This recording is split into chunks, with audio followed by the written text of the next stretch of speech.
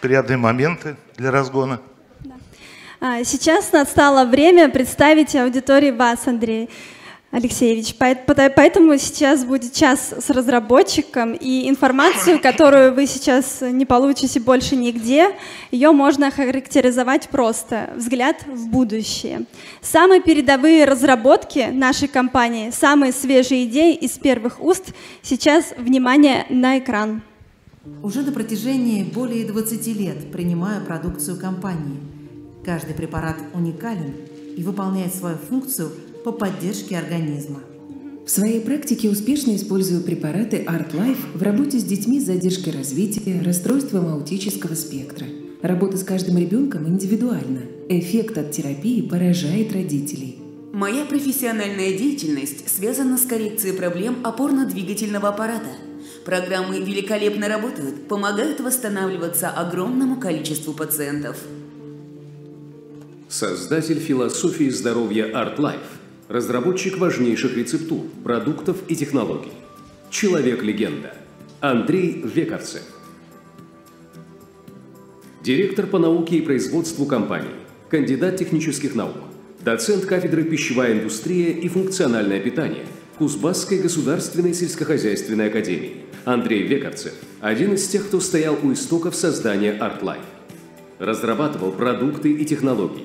Организовывал производство – Работал и продолжает работать над повышением профессионального уровня партнерской сети. Участвовал в разработке законодательной базы по применению биологически активных добавок. Готовил учебники по их применению. Благодаря усилиям Андрея Алексеевича в компании выращены десятки инженеров, лаборантов, разработчиков, созданы научно-исследовательские и производственно-экспериментальные лаборатории. Неравнодушный, увлеченный, абсолютно преданный своему делу. 25 лет он генерирует прорывные идеи, видит перспективы и не устает открывать новые горизонты ради одной цели – во благо здоровья человека.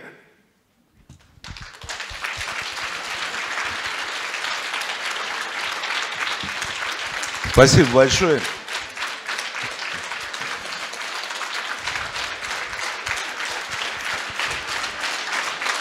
Огромное спасибо.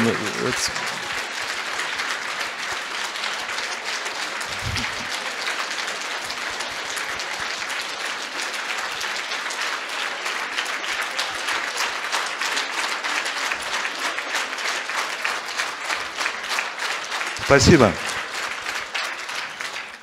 Уважаемые друзья, конечно, это не моя заслуга, это заслуга компании, в которой можно работать, творить в ускоренном темпе, потому что время у нас ограничено у каждого человека, так скажем, активной деятельности.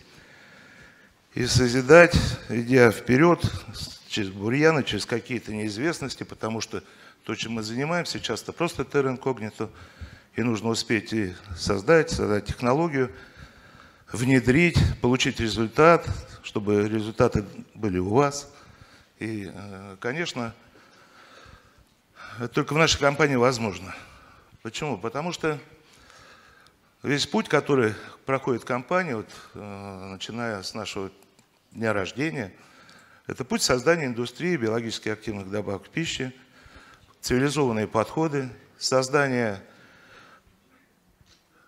науки, нутрициологии, на основе тех знаний, которые нам ну, в свое время дали, врачебных, медицинских. И эту деятельность мы сейчас продолжаем. Продолжаем в университетской сфере, и появляются новые специальности в вузах города Томска, в частности, в медуниверситете, в государственном университете, в политехническом университете. И вчера были лекторы, вот Роман выступал, до этого выпускник Томского политехнического университета. Потому что жизнь находится она э, в определенной сфере, которая не привязана только к биохимии или к медицине, или она питает корни из всех источников, которые есть вокруг нас. И э, принципиально, именно рассматривая нашу физиологию, наше бытие с точки зрения эволюции, с точки зрения того, а что человек есть, э, как э, биологический вид, как э, физиологическая машина, которая потребляет, живет в окружающей среде, и мы ну, осуществляем наши подходы. Хотелось бы сказать, что очень активно развиваемся, инвестируем большие средства в развитие новых направлений, новых технологий. И в этом году Александр Николаевич не стал ну, просто рассказывать. А, я скажу, что компания только в биотехнологии инвестирует 2,5 миллиарда а, рублей в ближайшие перспективы. То есть часть а, идет на строительство, часть идет на закуп совершенно нового оборудования, масштабирование технологий. Помимо тех вложений, которые мы вынуждены вкладывать в те технологии, которые есть, в таблетирование, пленочные покрытия, развитие ну, стандартных уже для нас процессов. Это все делается параллельно, и э, темпы иногда э, нас настолько самих э, поражают. Почему? Потому что э, эти процессы идут одновременно. При этом мы продолжаем работать, развивать новые технологии, и нужно успевать их тоже обеспечивать всем необходимым, включая и клинические испытания, реактивы, материалы, лаборатории создавать новые, которые в компании сейчас у нас 7 лабораторий, и планируется большая эпигенетическая лаборатория, которая будет заниматься ну, генетическими методами. А, поэтому меня вчера спрашивали, а как вам приходит в голову, как создается у вас какие-то идеи, мысли. Ну, во-первых, вы все знаете э, нашу, так скажем, динамику нашей жизни в области вот, э, питания. Когда-то мы отправляли детей в пионерский лагерь и говорили, что нам нужны жиры, белки, углеводы. Ребенок приехал худой, плохо кормили. Да, и нужно, как говорится, побольше есть. А потом оказывается, что нужно еще компенсировать какие-то дефициты. У нас была программа йод, там соль йодированная, потом у нас появились, значит, знания и подходы, давайте будем обогащать там группой В, витаминами, различными другими минеральными составляющими. И э, вот эта история, так скажем, и стала лежать в основе развития ну, нутрициологии как таковой и продуктов, которые появляются на рынок. Но сегодня, если рассматривать, что совершенно недостаточно, мы это давно поняли, стали развивать больше вглубь и вширь те аспекты, которые сейчас у нас разрабатываются. Это а, влияние окружающей среды. И вы вчера видели прекрасные препараты, которые регулируют наш быт, мощные средства, да, ведь мы же живем в экосистеме, которую сами создаем сегодня. Она значительно отличается от той экосистемы, которая была у нас в лесу или в пещере, когда мы жили. Поэтому эти подходы, они должны быть современны сегодняшнему дню.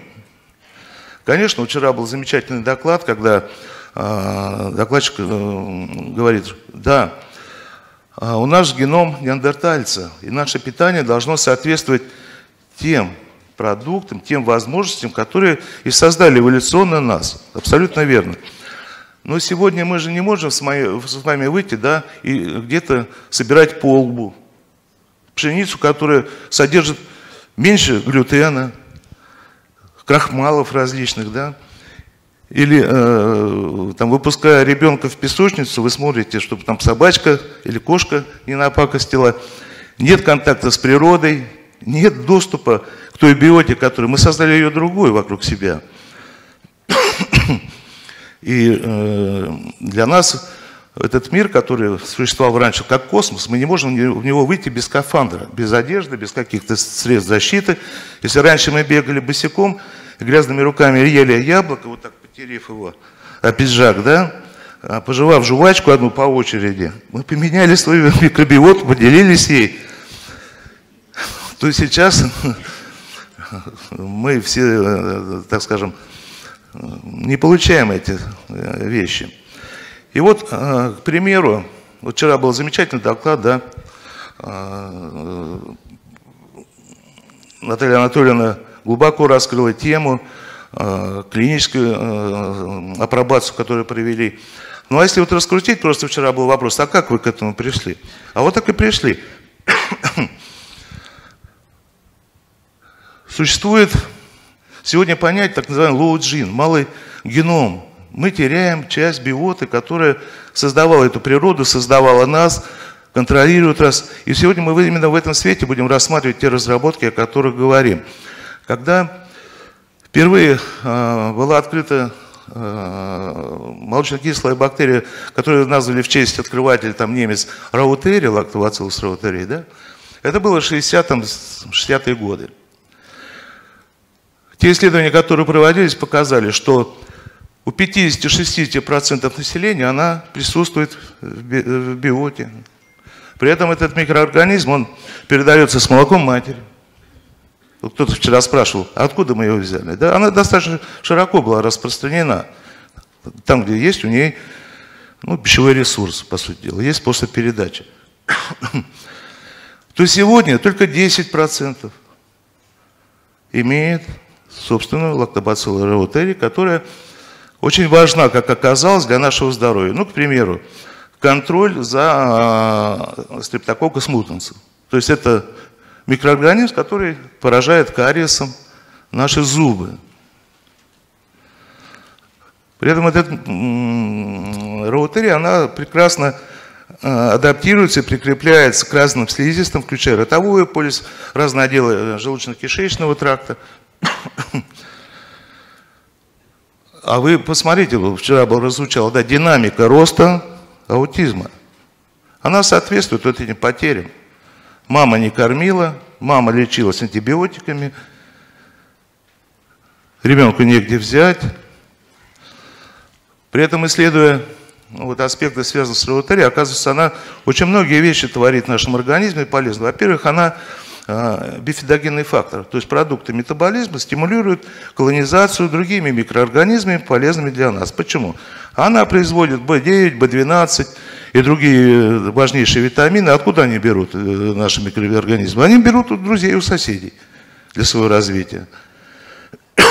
Конъюгация желчных кислот.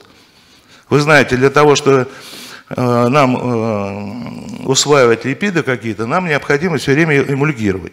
Столько мы произвести не можем. Идет э, постоянно обращение, да, там 5-6 раз мы должны отщепить и потом снова усвоить. И это влияет на уровень холестерина, липопротеидов низкой, там, высокой плотности и очень низкой плотности. Примерно 12% показывает статистика у людей с отсутствием лактобацилла раутерии уровень холестерина выше, чем у контрольных групп. Уровень усвоения витамина группы D. Исследование показывает на 25% ниже в плазме циркуляция активного витамина D у людей с дефицитом этого микроорганизма. Обмен триптофана. Вот вчера опять же, Наталья Анатольевна, ребята показали на слайде а, отзыв академика Козлова, который приезжал к нам в Томск, иммунолога, а, о нашей работе.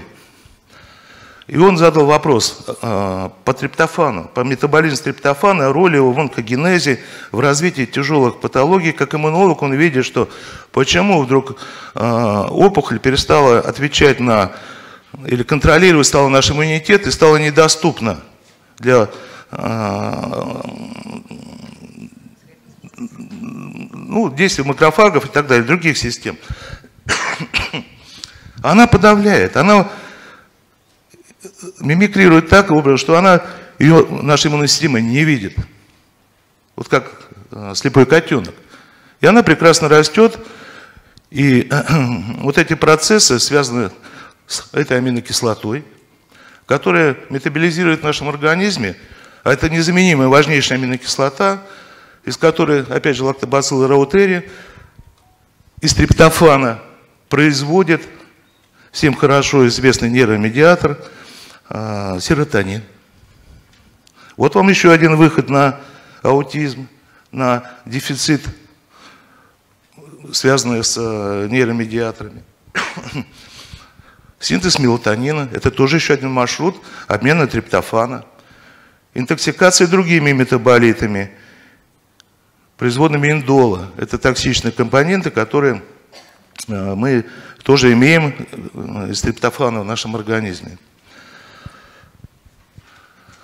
И так далее. То есть один микроорганизм, могу сказать про хеликобактер пилори, который она тоже контролирует у людей, у которых в порядке все с ревутерией, нет язвенной болезни, гастритов, патологии связаны а, с этой, так скажем, с микроорганизмом хилобактер пилори.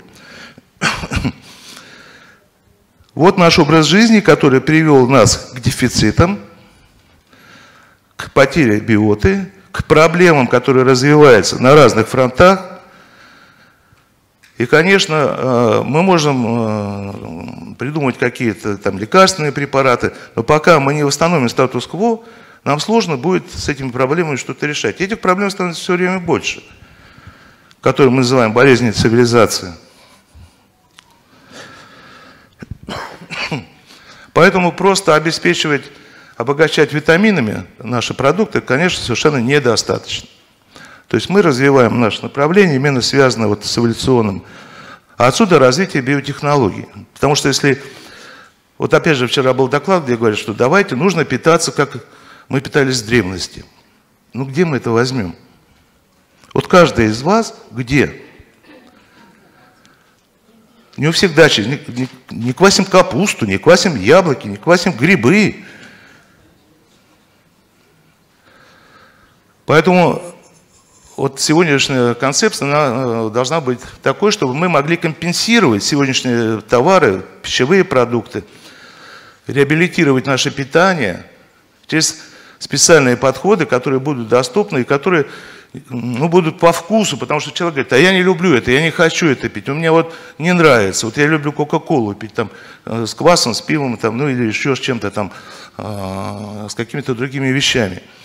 Поэтому э, только биотехнология современная может дать, а для этого нужно их создать, найти эти культуры.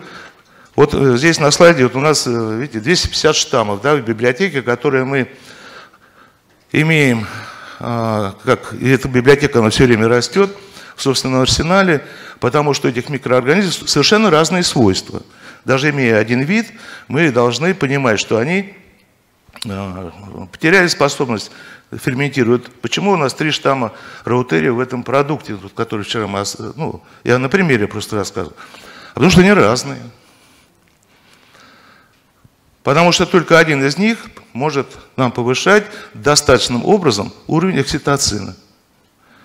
Другой занимается э, синтезом от группы В больше, а третий производит раутерин. Это сильнейшее э, антибактериальное вещество, которое микроорганизмы, ну, для того, чтобы конкурировать между собой, выделяют, но на нормофлору раутерин не действует. То есть они э, не восприимчивы к этому, так скажем, продукту. Эти все вопросы нужно изучать, иметь свои библиотеки, знаний, чтобы создать вот хотя бы предпосылку. Дальше к нам обращались вот, э, из Союза э, российских неврологов, психиатров, председатель, говорит, ну мы вот в фармтупике находимся, у нас нет тех средств, которые бы значительно влияли на э, ну, коррекцию э, психических состояний, заболеваний. И вы сразу увидели, что у нас появились там и адеприм, там, да, препарат. А работа началась, когда мы стали изучать, а кто может нам производить ГАМК, гамма-аминомасляную кислоту. Как замкнуть наши дефициты, опять же, потому что это нейромедиатор производится в кишечнике, микроорганизмами. Биофидобак, там целая группа их производит. И производят их из тех продуктов, которые мы должны съедать. А мы их не едим, мы их заменили Кока-Колой. И они посидели, посидели, и, и, и нету их там. И вот э, у мамы нету, в рационе нету. Ну, кто-то еще там и водку пьет, вымывает остатки в большом количестве или какие-то другие токсиканты. И эта проблема э, тоже ну, не решится одними фармпрепаратами. Эту проблему надо решать тогда вот с помощью комплексов, которые достоверно, грамотно будут обеспечивать этот пул метаболитов, которые необходимы для того, чтобы мы правильно созревали. И Наталья Анатольевна вчера говорила, в каком возрасте это очень важно. Два-три года. Потом ничего не сделаешь, не, не наверстаешь. Очень сложно это делать. Поэтому все эти вопросы нужно решать правильно, вовремя и масштабно. То, что э, ну вот синтез окситоцина, я сказал, да, э, триптофана обмен. Э, при этом этот микроорганизм, он достаточно распространенный и неприхотливый, в отличие от других, которые прихотливы, и чтобы с ними, так скажем, подружить человека, нужно очень-очень много приложить усилий.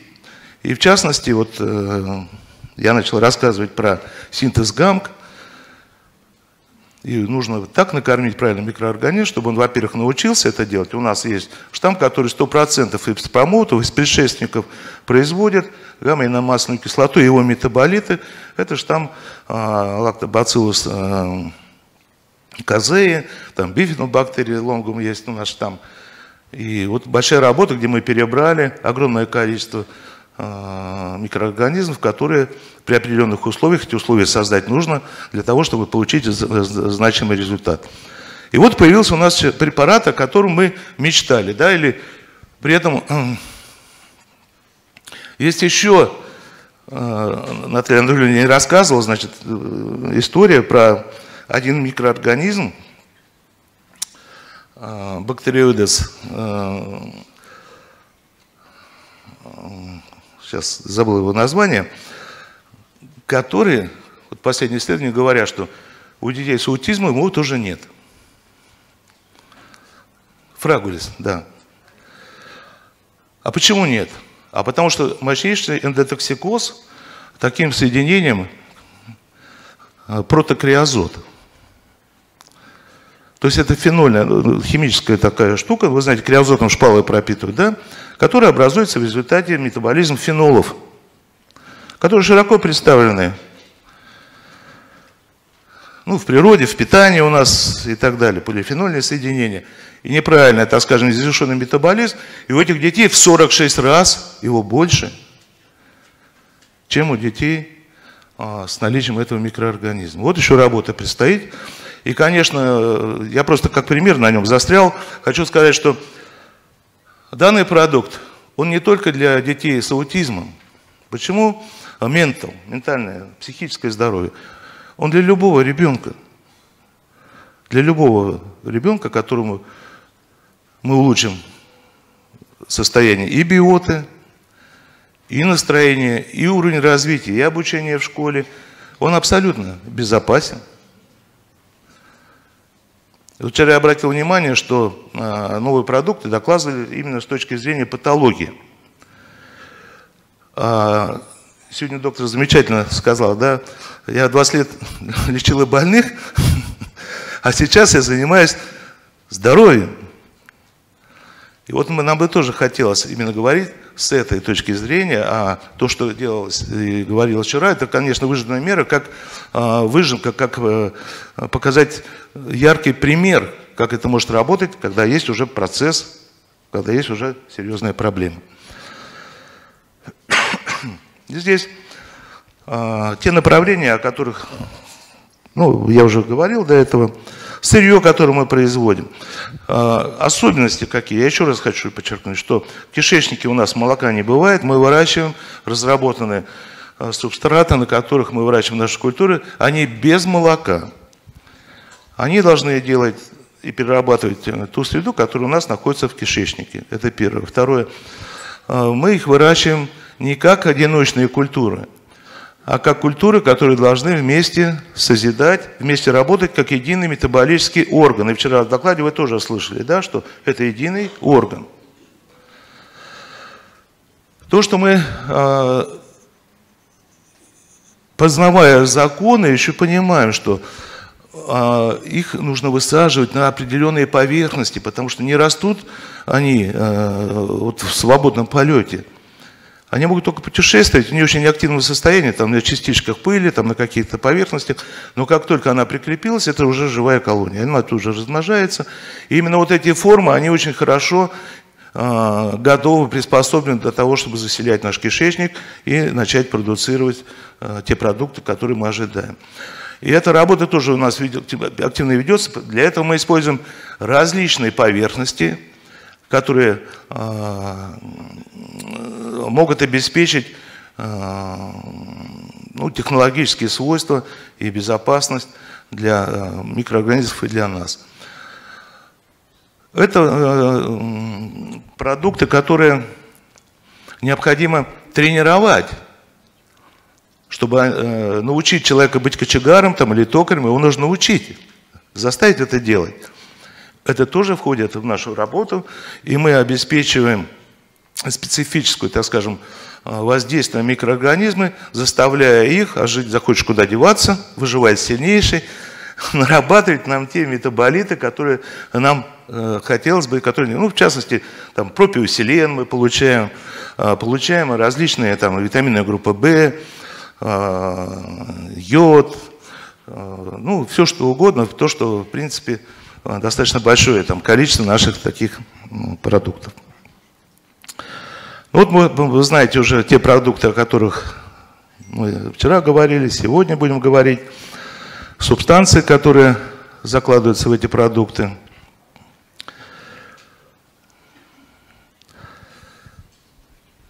Вот такая схема. Ну, понятно, что она для многих знакома. Причина наших дефицитов, нашего, так скажем, проблемы с нашим здоровьем – вот последняя, так скажем, статистика по заболеваемости. Можно посмотреть рост сахарного диабета, других на заболеваний на 100 тысяч человек, это вот 18 год данные. Мы видим, что все достаточно так плавно, постепенно увеличивается и в негативную сторону.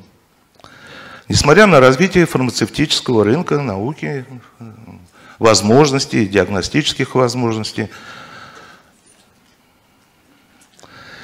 И вот на фоне вот этих, э, так скажем, процессов, о которых я рассказываю, просто не знаю, как на по времени, э, мы э, хотим создать новое питание и назвать его корректирующим питанием.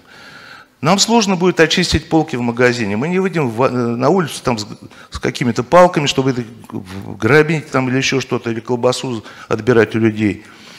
Но только пропаганда и подходы позволят человеку, который, ведь ни одна хозяйка говорит, я своим детям добра не желаю. Любая мама хочет здоровья своей бабушке, семье, но она идет в магазин несет домой то, в лучшем случае, там она, ну, не знаю, больше клетчатки возьмет, там еще чего-то, как-то по каким-то там э, возможностям. Но это не будет на постоянной основе. Это будет эпизодическое рвение, желание, пока там какие-то стрессовые ситуации не произошли. А как поставить это вот на постоянную базу? И вот для того, чтобы э, создать не суп, не кашу, а новую линейку продуктов, мы вчера начали об этих продуктах говорить. Это продукты Selection. Почему Selection? Селекционер – это ученые, которые делают естественный отбор, выращивают нам нужные помидоры, огурцы, но только в нашем кишечнике в виде биоты. И для этого нужно тоже условия. Вот в этот продукт мы закладывали эти условия для того, чтобы получить максимальный эффект. Дальше. Те хронические заболевания, при которых... Вот врачи знают, да, что раньше мы э, по Покровскому были стол номер один, 1А, 1Б, там, 5, 9. Сейчас, по-моему, этого вообще ничего нет. Вообще ничего. То есть еще хуже стали относиться к науке о питании, которая создала всю природу, все живые существа. Законы этой науки. В лучшем случае Э, я не знаю, ну, санаторий там напишет там что-то без глютена там, или еще что-то, ну, человек сам разбирайся. Вот. А написать-то можно, да, ну где взять это? Вот где простому, да, я сам тоже человек, как говорится, уже не молодой, вот, с ноутбуком или там с какой-то, я не знаю, там, с шпаргалкой ходить можно, не можно, там справочники, ты в магазин не пойдешь. То есть это понятно, что декларативные вещи. Но если мы будем специальными, концентрированными продуктами, которые не меняют ваш основной рацион, не заставляют вас есть это целый день, допустим, костно-суставная патология, да, и остеохондрозы, там, и наши остеоартрозы различные, и другие, так скажем, дисплазии там, соединительной ткани, где человек просто дополнительно потребляет активные функциональные ингредиенты в особой форме, при этом это все вкусно будет, да, или сердечно-сосудистая патология. То есть это продукты, которые можно вводить в рацион, дополнительно расширяя и активное воздействие, потому что это нужно делать каждый день, понимая, что это нужно делать каждый день. Но для этого нужны базовые продукты. И базовые продукты, конечно, а, ну, вот такая э, картинка, которую я люблю показывать. Почему? Да потому что она сегодня как нельзя лучше объясняет и подходы, которые мы должны обеспечивать наше здоровье. И наши продуктовые линейки различные, сорбенты, вчера про рекорд слышали, да, там у нас еще там много разработок, а, все ждут гутавиву, это все сорбенты, сорбенты, сорбенты, которые призваны там, снижать уровень детокси... интоксикации, эндогены или экзогены. Коррекция витаминами, минералами и коррекция аддитивная, это как раз вот этими метаболиками. То есть вот комплекс, который нужно обеспечить, подойти к решению тех или иных проблем, связанных со здоровьем. И вот э, Шендер Б.С. Аркадьевич, большой друг компании ArtLife, который создал, так скажем, вот подходы, понятия и Э, определения многих э, современных направлений. Он является отцом вот, метабиотиков как таковых, термина. Вот, горячо поддерживаем. Был много раз в ArtLife, мы с ним много встречались, разрабатывали. Даже встречались, когда у меня ребята лечили с остеохондрозом я приехал на конференцию, меня скрутило после чемодана. Мы в, ну, в номере в гостинице сидели целый день. специально приехал из Санкт-Петербурга для того, чтобы мы провели совместную встречу и работу. Поэтому термин метабиотики – это такой широкий термин, который позволяет сегодня как-то определять подходы к этим соединениям, их э, концентрации, э, безопасности, верификации, стандартизации методов – Э, контроля и какое оборудование принимать, то есть нормировать. Это все требует очень большой работы. А их достаточно много. На сегодняшний день известно их уже там, ну, порядка 20-25 тысяч. То есть,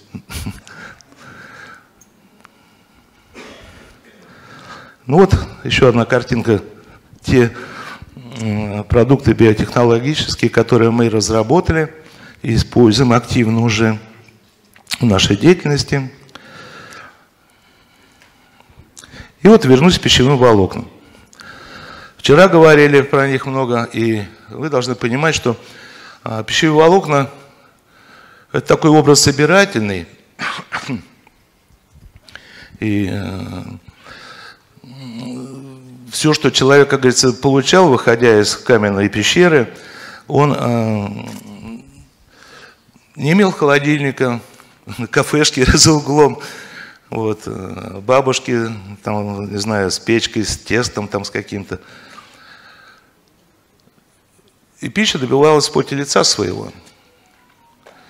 И создавала нашу адаптацию к тому, это на протяжении огромного периода времени, это десятки и десятки тысяч лет, когда формировался наш гетеротрофный такой тип питания, потому что мы не львы, не хищники, да, не вроде травояды, не коровы, не быки. Вот мы такие, у нас зубов нет, клыков нет, чтобы вот бегать как зайцы, тоже не можем. Ну, адаптировались, вот смотрите, сколько настало, да, почти 7,8 миллиарда на планете. За счет того, что мы очень гибко можем адаптироваться к питанию. И к достаточно широкому спектру. И поэтому, если Мишка Кала ест там один вид бамбука, ему легко. Дали бамбук, все, вот его еда. А нам надо много и разнообразно, и менять. И разнообразие биоциноза тоже от этого зависит. И эти вещи, которые мы сейчас говорим, они лежат в основе нашего иммунитета, в основе нашего бытия. Я всегда привожу пример, что у червяка вообще головы нет, у него одна, одна, одна кишка. Вот. И вот даже там песня есть поползет, раз, разделили лопатой, два брата поползло, потом еще хлоп, хлоп, четыре брата поползло. Вот. Э, мы так не можем, к сожалению. И э, наш метаболизм целиком завязан, правильный метаболизм, на тот генетически детерминированный тип питания и выживания, который мы заработали эволюционно за огромный период времени. И резко его менять не получается без вреда для нашего здоровья. И вот наша проблема это есть как раз смена резкая этих продуктов, которые пожирнее, побольше, повкуснее, послаще. И наша клетка говорит, хозяин, я не знал, что только ты будешь есть сладкого там. Я не готова, убежать я с тебя не могу. Мозги я тебе тоже не могу переделать. Я начинаю страдать, но пытаться выжить, создавая адаптивную реакцию, которую мы называем э, диабет второго типа, допустим, или атеросклероз. Куда девать-то? Или болезнь Альцгеймера? Куда синуклин распихивать? Ну куда клетки его девать? Она вынуждена создавать рецепторы, иммунная система должна возвращаться, адаптироваться к этим процессам. И вот пошел процесс другой, который мы потом лечим с помощью стенов, там, я не знаю, еще чего-то, не за, ну, затронуть или там других методов. А все очень просто, потому что на самом деле в природе все есть, просто нужно правильно заниматься своим рационом. Как это сделать? Мы знаем, что сегодня 30 а, грамм пищевых волокон, разных пищевых волокон должно быть в нашем рационе. Почему? Это очень много. Вот посмотрите, 2 килограмма капусты. Кто съест? Не получится. Вот для детей, ну, примерно 15 грамм, там 20 грамм. Конечно, там зависит и от всевозможных, там, веган, не веган, но тем не менее, это очень много. Различные виды клетчатки – это мы условно называем клетчаткой, потому что каждая соринка, как у нас Татьяна Анатольевна, она очень такая юморная женщина, она говорит, да у нас каждая соринка витаминка. На самом деле, и сколько существует видов клетчатки, есть предпочтение к ее ферментации разными видами микроорганизмов, и мы получаем совершенно разные на выходе продукты, полуфабрикаты, и которые все важны. Потому что, когда человек выходил из пещеры, он собирал то, то, то, он не дифференцировал. Пришла там осень, там, зима, там, еще что-то. Эти процессы, они всегда шли с нами рядом совершенно. Вот. И вот посмотрите, есть пищевые волокна, которые мы можем ферментировать, которые не можем ферментировать. А есть пищевые волокна, которые ферментируют микроорганизмы, а мы их не ферментируем. Они разных там. Это полисахариды, целлюлоза, лигнин. Лигнин вообще это, вот из нее, знаете, делают эти паркетные доски, вот эти на веранды. Вот. Он не переварен, но он тоже важен. Как носитель, как абсорбент, как поверхность для микроорганизмов, как фильтр, на который они живут, на котором они трудятся. Камеди, слизи. Их огромное количество. Поэтому говорят, пища должна быть разнообразной. без пищевых волокон у нас никогда не будет здорового микробиота. Никогда. Что бы мы ни делали. Так, сейчас я маленько переключу. А вот как влияют эти продукты на экспрессию генов, то есть на включение и выключение, на активность. То есть это реально прямое воздействие на наш геном и на синтез наших белков, в том числе а, ну, практически всех белков. Именно глобулинов, ферментов, я не знаю, там, а, вот посмотрите, инулин, да, ин это инулин, олигофруктоза, гуаровые смолы, арабиногалоксаны, э, арабиноксиланы, резистентный крахмал, наверное, вообще не слышали многие из вас. Сегодня резистентный крахмал является э, программа долголетия он принял до 30 -го года, куда вот резистентный крахмал входит как основа для правильного питания пожилых людей. Есть еще резистентные белки. Ну, белки, которые мы не перевариваем, допустим, их микробы переваривают. А, помните, у нас «Золотой кокон» была программа, да, вот косметическая, там э, белок этот да, да. Вот он как раз относится к этому разу. Это белки грибов, которые, знаете, говорят, вот грибы ты не усваиваешь. Да, мы не усваиваем. Но микроорганизмы их прекрасно усваивают, делают из них нужные нам молекулы, которые мы потом, в последнем, я расскажу тоже, используем для коррекции тех или иных состояний. Вот наши исследования, которые показывают, а какие микроорганизмы что могут ферментировать вот в доступном, так скажем, а, пространстве. Это лактобактерии, бифидобактерии, козея, болгарская палочка. Одни с удовольствием, другие по нужде. И для того, чтобы а, потом получить заданный конечный результат, мы вынуждены делать эту работу, изучать их поведение на разных средах, при этом разных культур и разных штаммов, подбирать еще для вот этого процесса. А здесь вы видите вот фукоидан. Это фукоза, знаете, такой моносахарид, который сегодня а, относят к причинам долгожития японцев, которые питаются водорослями, а, там ныряет.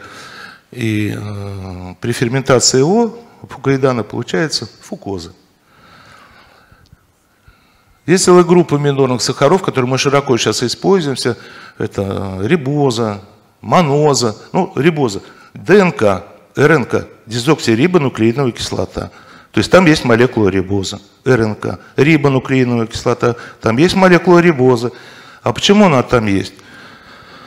А ее бактерии туда присоединили. А зачем они присоединили?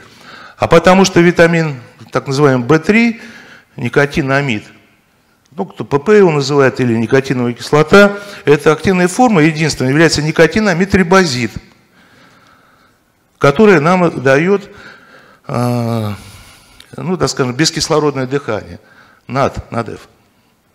Флавоновый, ну, как, флавоновый, да, правильно сказать, чтобы не картовое дыхание. То есть вот пошла история, потому что то, что мы с вами используем, там никотиновую кислоту, это же лишь возможная форма, из которой нам бактерии сделают и присоединят. А не то, что мы съели витамины, стали богатыми и счастливыми, ничего подобного. Это касается многих лекарственных препаратов. У одних помогает, у других не помогает. А почему? А потому что там бактерий не было, которые могли из него приготовить нам тот метаболит, который стал лекарством. Не в печени, а в кишечнике. Поэтому, опять же, видите, вот каждая соринка, витаминка.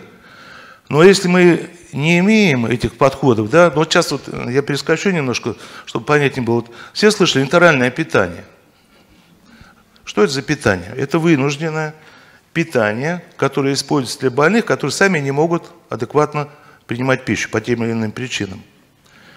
Есть параентеральное, когда вот вену капает, просто не спрашивает, да, там вводит. А интеральное питание, когда человек через зон там, и через фистулу каким-то образом. Это онкобольные. И мы работаем, вот тоже друг Наталья Анатольевна, ребята, которые в Омске имеют, э, у них молочная кухня, где делают концентрированные продукты для больных, которым нужно много белка. Это ребятишки.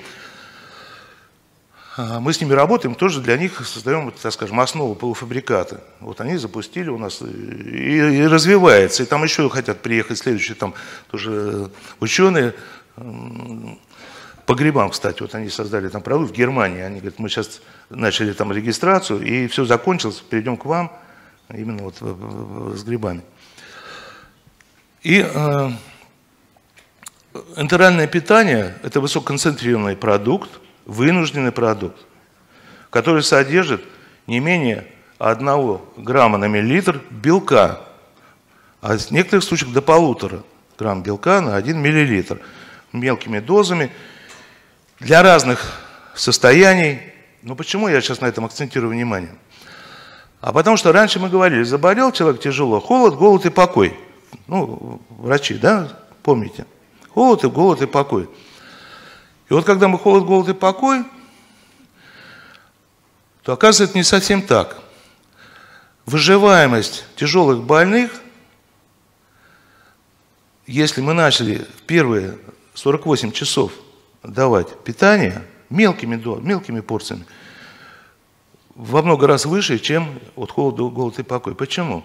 А нет эндотоксикоза. Потому что та биота, которая... Она же не может не есть.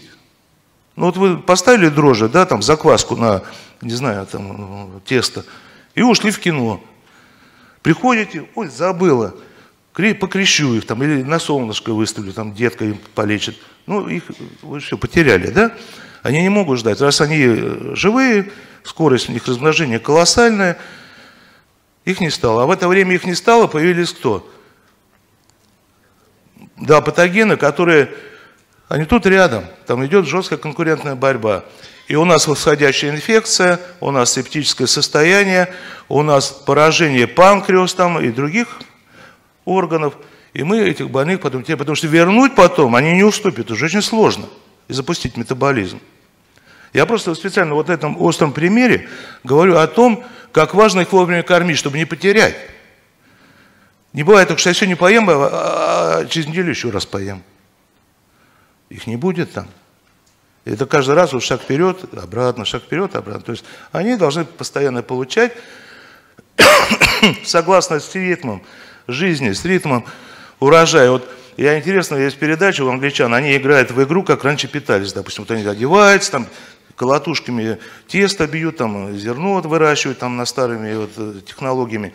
И вот пытаются, он говорит, и каждый раз была новая похлебка, каждый раз была новая. Сегодня крапива выросла, завтра выросла у нас ботва, и каждый день э, вместе с природой человек живет этой жизнью. Вот с доступными. Сегодня вот мы ели там корень лопуха, завтра там еще что-то. Раньше саранки у нас собирали. Это на... Ну так жил-то, но мы по-другому. Сейчас, конечно, не пойдем в лес саранки собирать там, или грибы на асфальте выращивать. Вот поэтому такой подход предлагается. Я переключу.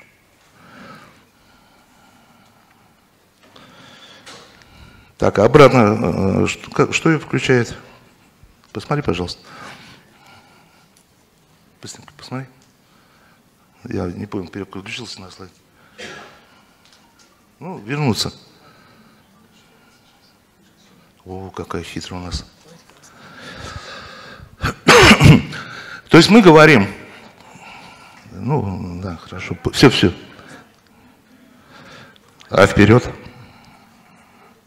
Она сейчас обратно. Нет, все вперед пошла. Да, все, все правильно.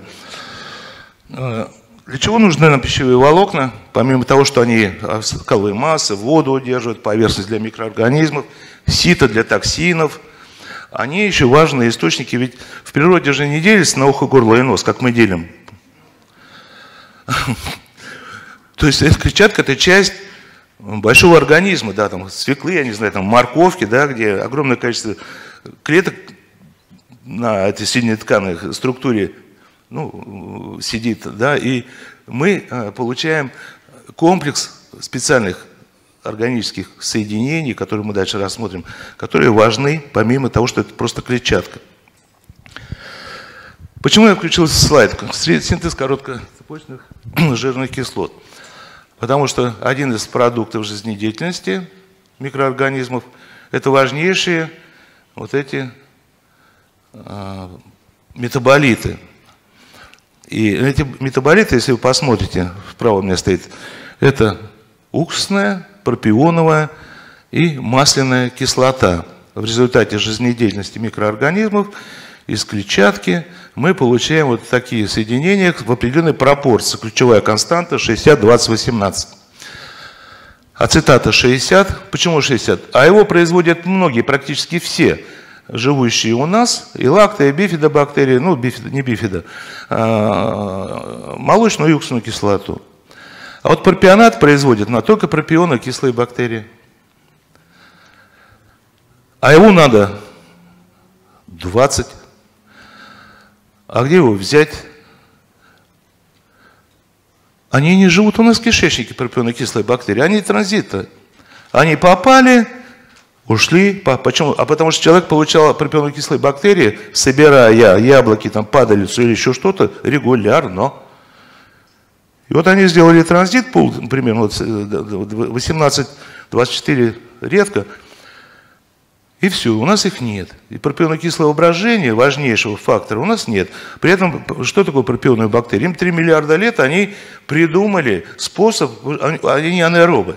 Они как раз без кислородного способа добывают себе энергию. Они производят поэтому фолаты, фолиевую кислоту, витамин B9, о котором мы мечтаем и говорим, что без него будет плохо нам. Потому что это цикл Крепса, это наше дыхание клеточное, это наша безопасность, это наши окислительные процессы в печени, нейтрализация токсинов, до всего, основа всей жизни, которая настроилась над бескислородным способом выживания. Важнейший. Вот у нас сейчас, а, ну здесь нет, я просто скажу, а, препарат, где три штамма вот, э, Фредеричи, а, забыл, как называется, склероз, вот, э, зарегистрировал. Ну, скоро будет у нас, так скажем, вот в обиходе. Потому что важнейшее. Но мы, если посмотрите наши рецептуры, везде, где можно, есть э, задача, мы обеспечиваем пропионными бактериями нашего комплекса. Важнейшее, важнейшее. При этом Что такое среднецепочные и короткоцепочные триглицериды? Это наш жировой обмен, углеводный обмен. Никогда не будет плохого холестерина там, или там, липопротеина, там, низкой, очень низкой плотности. Никогда.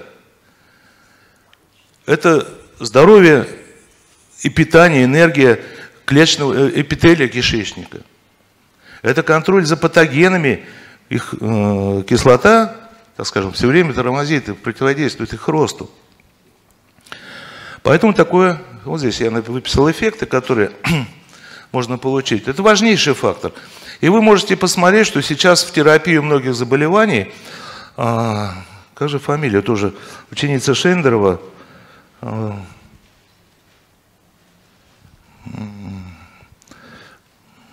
вот они закафальк используют, там пульмонолог, она, а, ой, да.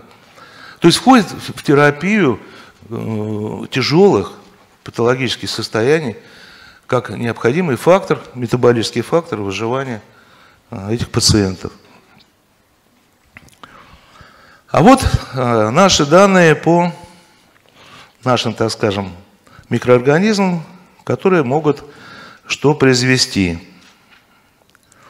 Вот ацетат, пропионат, бутират, ну и молочная кислота, лактат – Для этого библиотека и нужна. То есть мы выбираем то, что они могут или не могут. Одни в расход, другие к нам в препараты микроорганизмы.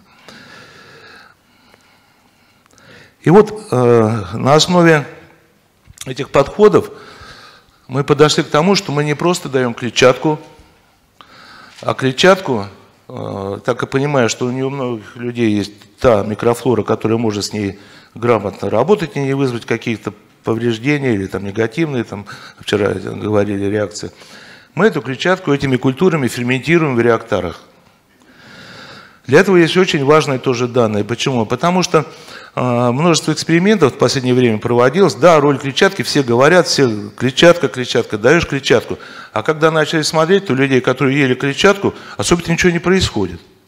С одной стороны, некому работать с ней в кишечнике, с другой стороны, те вот противовоспалительные маркеры, воспалительные маркеры, там белки, они э, как были, так и есть. И вот, там 10 месяцев люди принимают, там,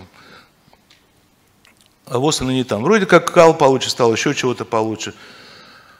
А когда начали кормить ферментированными образцами, то получили эффект в течение трех-четырех недель.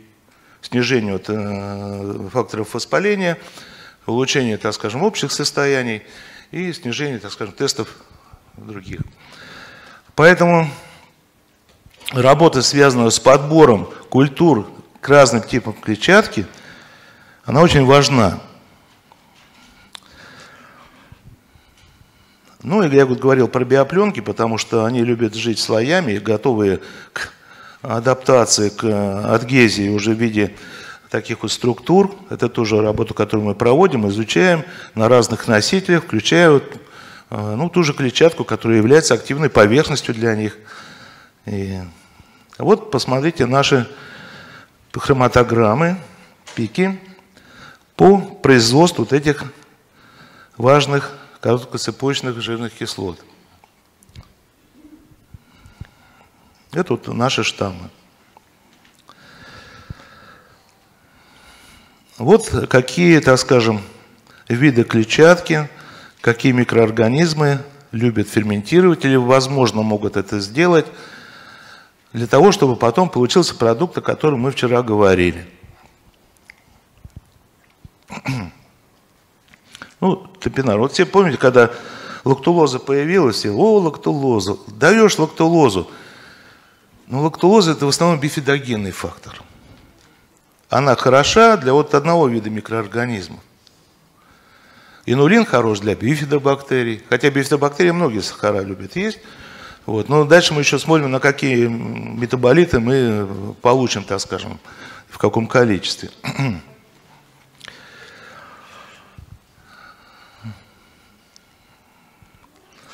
Вот про BioSelection. Вот сейчас мы подошли вот к самому препарату.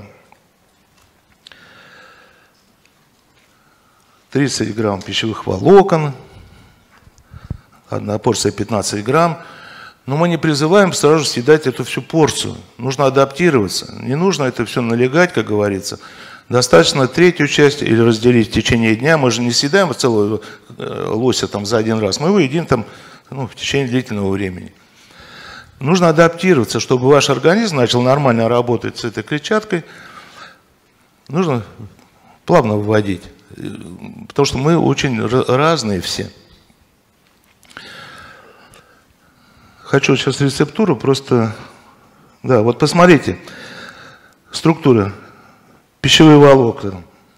Кабачок, пюре, яблочное пюре, морковное пюре, ежовик, гриб, гонодерма лакированная, вешенка, шейтаки, яблочный пектин, яблочная клетчатка, кукурузные отруби, гречневые отруби, грушевые перо, льняная клетчатка, рисовые отруби, цитрусовая клетчатка – это только одни клетчатки ферментированные.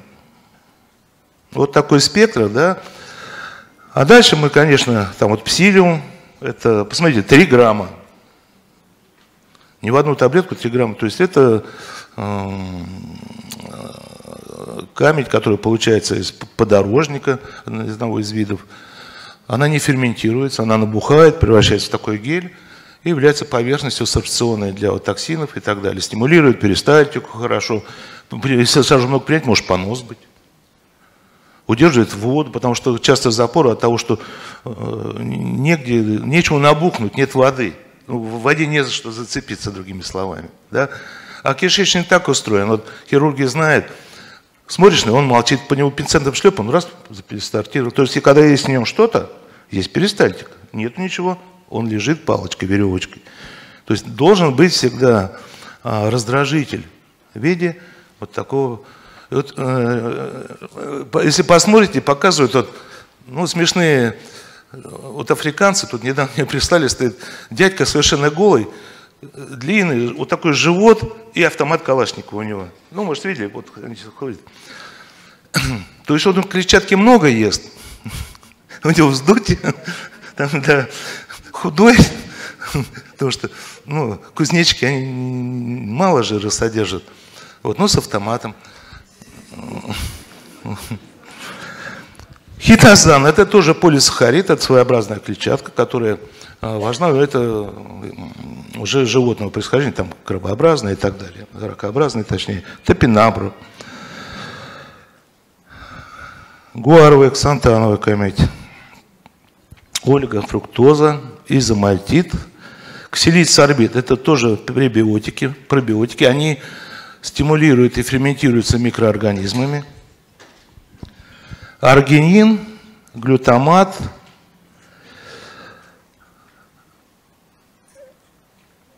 вот эти две аминокислоты очень важны. Важны для состояния эпителия кишечника. И вот в эти энпитовские смеси для тяжелых больных обязательно входит глютаминовая кислота и аргинин. Они отвечают за кишечный барьер, за состояние эпителия. И а, если вы посмотрите на рецептуры, везде будут вот эти важнейшие две аминокислоты, как факторы, необходимые совершенно для состояния эпителия. Параминбензольная кислота – это витамин для микроорганизмов, они его любят. И многие наши сульфаниламидные, помните, препараты – это антивитамины параминбензольной кислоты. Они обманывают микробов, и они не могут размножаться. А здесь, наоборот, мы обеспечим эти процессы. Цистеин – это тоже важнейшее не для нас, для микроорганизмов а, подпитка. Группа витаминов. Так, ну, не знаю, куда нашел опять, наверное, туда. Ну, показания, они такие относительно. Почему? Да, это нормальный да, нужно нам всем каждый день употреблять и привыкать, адаптировать. Это не так много и не так сложно каждый день держать кишечник свой в порядке. А дальше, ну, питайтесь, кто как привык, у кого какие есть ресурсы. Потому что на каждый мы, э, как говорится, не создадим меню вот каждому человеку. Одного там одни привычки, там, возможности, там, доступности и так далее, и так далее, и так далее. В этом и есть смысл этого препарата. Создать, поддержать, обеспечить микробиом для сохранения и так далее. Не так, что вот заболел, попил. Понимаете? То есть для регулярного, ежедневного прямого. Это суть этого продукта отдозировать, подобрать под себя концентрацию, он вкусный, он приятный. Там нет ни подсластить, там ничего нет вообще вот э, внесенного, там только вот естественные вкусы пюре, которые туда входят и так далее, и так далее. Вот для того, чтобы эти пюре добыть, потому что колхозники говорят, осенью приходи, урожая будет, мне год ждать этого пюре, там, кабачка или лука-порей, там, или еще. А, потому что мы получаем их стерильными, их нужно пастеризовать, а, приходят ну, в бочках под нас, и потом запускать ферментацию. Вот, поэтому там не только клетчатка, но и все, что кабачок имеет, ну, как кабачок, только упаренный. Ну, вода из него, так скажем, улетела. И мы имеем, это, ну, так сказать, ферментация, да, удорожает продукт, но тем не менее мы смогли уложиться вот э, с этими э, рецептурами, ну, в тот масштаб, в те цены, которые, вот, я не знаю, какие сейчас, потому что расчетные. Вот. Еще одна очень важная, так скажем, группа соединений веществ, э, которую мы назвали, это наш, по-моему, термин, я уже сам не помню, что придумываю, метафлавоны. То есть это класс флавоноидов, полифенольных соединений, которые очень важны в нашем метаболизме, из которого производится огромная куча нутриентов. По сути, ну, все знают селимарин, селибарин, да, расторопший, который мы там при э, гепатопротективной, да, вот, там это активные флавоноиды являются. Но их тоже должны переработать микроорганизмы, для того, чтобы они оказали вот эту функцию гепатопротективную.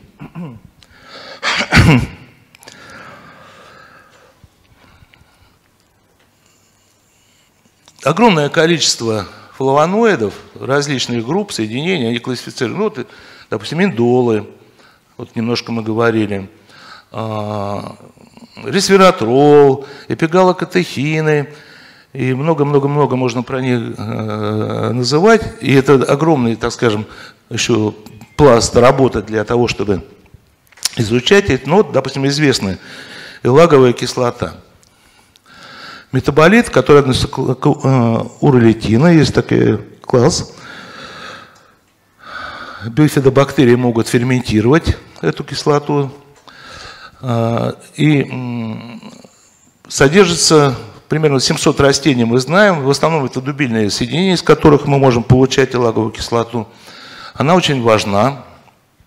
Сегодня изучается ее свойства а, как сильнейшего противовоспалительного средства, иммуномодулирующего средства и цитостатического средства. Дело в том, что она включает у раковых клеток апоптоз. Ведутся исследования, и сегодня эти исследования доказывают, что вот э, онкобольным, люди, которые особенно получают химиотерапию, вот, именно в этот период добавление вот подобных вещей позволяет улучшить результаты от лечения, то есть именно во время терапии, ну, чтобы была выраженная гибель, некроз, то есть апоптоз – это поражение, повреждение пораженных клеток. Кверцетин рутин всем хорошо знакомы. Широчайший спектр действия.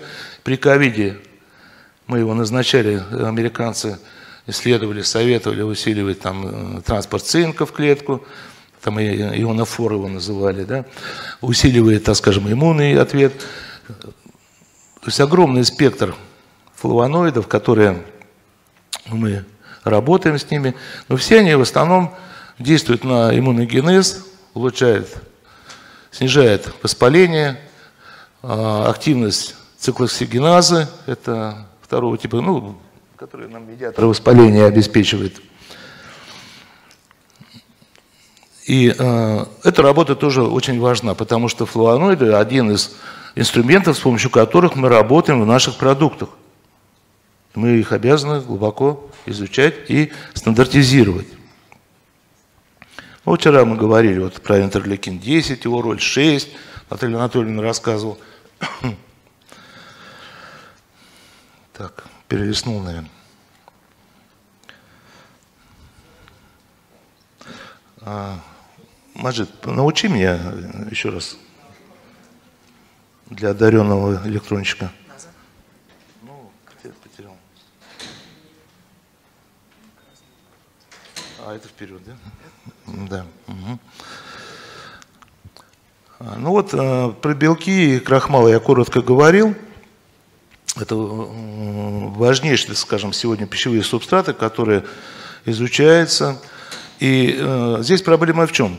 Чтобы есть вкусный хлеб, который мы селекционировали зерно, мы его сделали пушистым, крахмальным, и вымыли оттуда все резистентные крахмалы в свое чревоугодие. И сейчас от этого мучаемся, маемся. Вот современные продукты, рафинированные, ну как угодно их называйте. Вот, потому что а в дикой пшенице, в диких злаках там э, не так много этого крахмала, который э, нужно съесть, чтобы такой живот был, как у того, не говорит, ну, человека с автоматом. Ну, я просто, картинка на самом деле, очень смешная была. Вот. А у нас э, продукты селекционированы таким образом, что они содержат гораздо больше именно крахмала, который мы переводим в углеводы, собственно, глюкозу. Вот посмотрите, здесь вот есть табличка. Вот. А, содержание. Черный хлеб, белый хлеб, там спагетти, рис, пюрешка. Вот. Их там очень и очень мало. Почему в чипсах больше всего оказалось в самом вредном жареном продукте.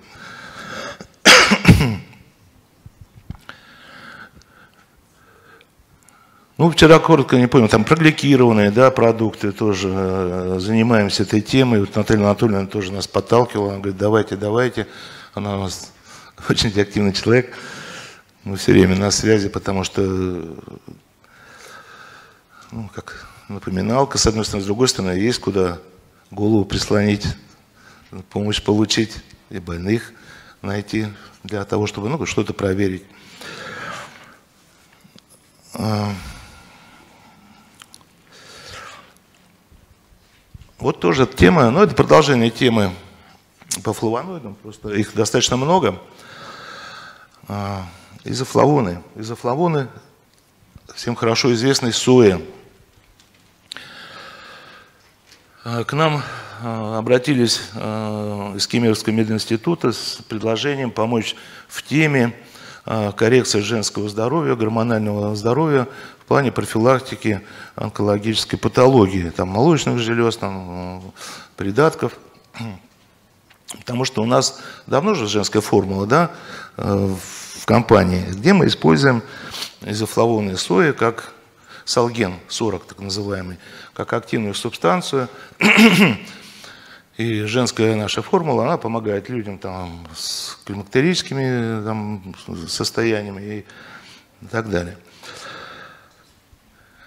И вот, э, когда мы стали изучать, собирать литературу, оказалось, что э, в Юго-Восточной Азии, в Японии, в Малайзии, в Индонезии, там, где едят ферментированную сою, у них очень низкая заболеваемость раком этих органов мишени. Очень низко, стремится к нулю. И в культуре питания, даже вот когда женщина вот подходит к критическому возрасту, нет вот этих проявлений тяжелых Э, предклимактерия, климактерия, да, и эти процессы происходят мягко. Есть статистика, есть анкетирование там проводили и так далее, и так далее. Но все они пьют в той или иной степени или соевое молоко какое-то ферментированное, кислое, или соусы, их там достаточно много. В каждой стране там э, большое количество продуктов. Вот. В чем тут дело? Оказывается, э, вот эти вот э, флавоноиды соевые, а, генстеин и зоинидин, ну, очень трудно произносить, вот, тем более, когда не все зубы свои, они являются предшественниками очень важного соединения, которое, опять же, ферментирует бактерии. И вот а, наши пациенты, наши любимые милые женщины, только 20-30% имеет ту микрофлору, которая может получить нужное вещество из этих флавоноидов. Из этой субстанции. Это практически салгин-40, это субстанция. Потому что, опять же, дефицит в микробиоте. И это связано с тем, что и вот эти изофлавоны есть в клевере, а, в семени льна. То есть на Руси тоже много растений. Мы сои же не выращивали никогда и не ели. А вот то, что ели, там тоже они были. Но мы просто плюнули и не стали делать из этих растений квас, еду, напитки. И мы просто стали есть другое. И у нас сразу пошла другая статистика. Мы стали low gene. А это делают микроорганизмы, это бифидобактерии. Только одни умеют, другие не умеют, потому что если я это не ем, если я никогда не видел запорожца, я не сяду за руль, да, ну или там машину какую-то, я не водитель. Хотя вроде ноги, руки на месте. И здесь тоже. То есть потеряна способность ферментировать.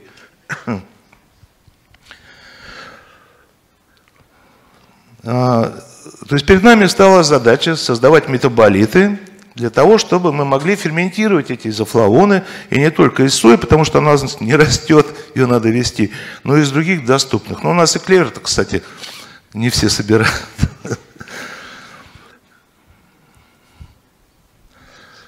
Вот здесь коротко представлен механизм действия. Дело в том, что эта группа соединений, полученных из эквола, он является, то есть это уже метаболизированный комплекс, который э,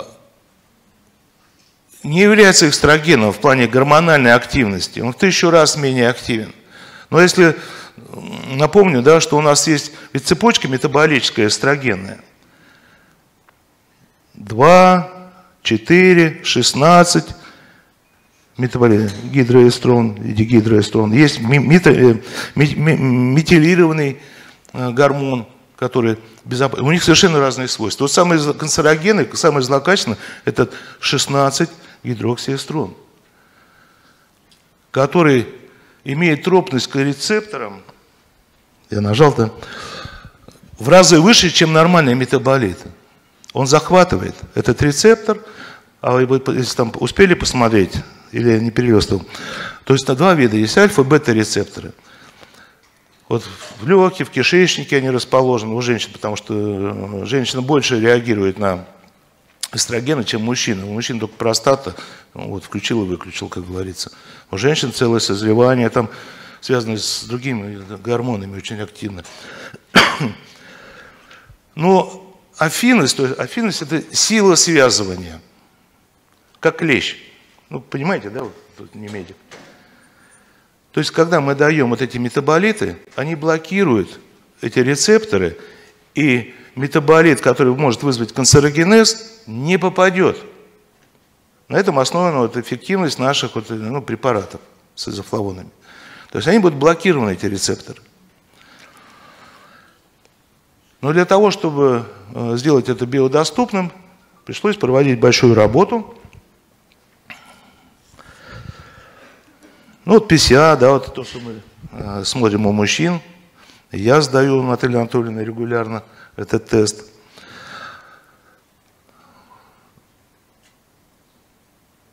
Да, кстати, вот да, интересное по активности витамина ЦИП-24 – это один из видов цитохрома, который метаболизирует витамин D, ну, что мы называем витамином D.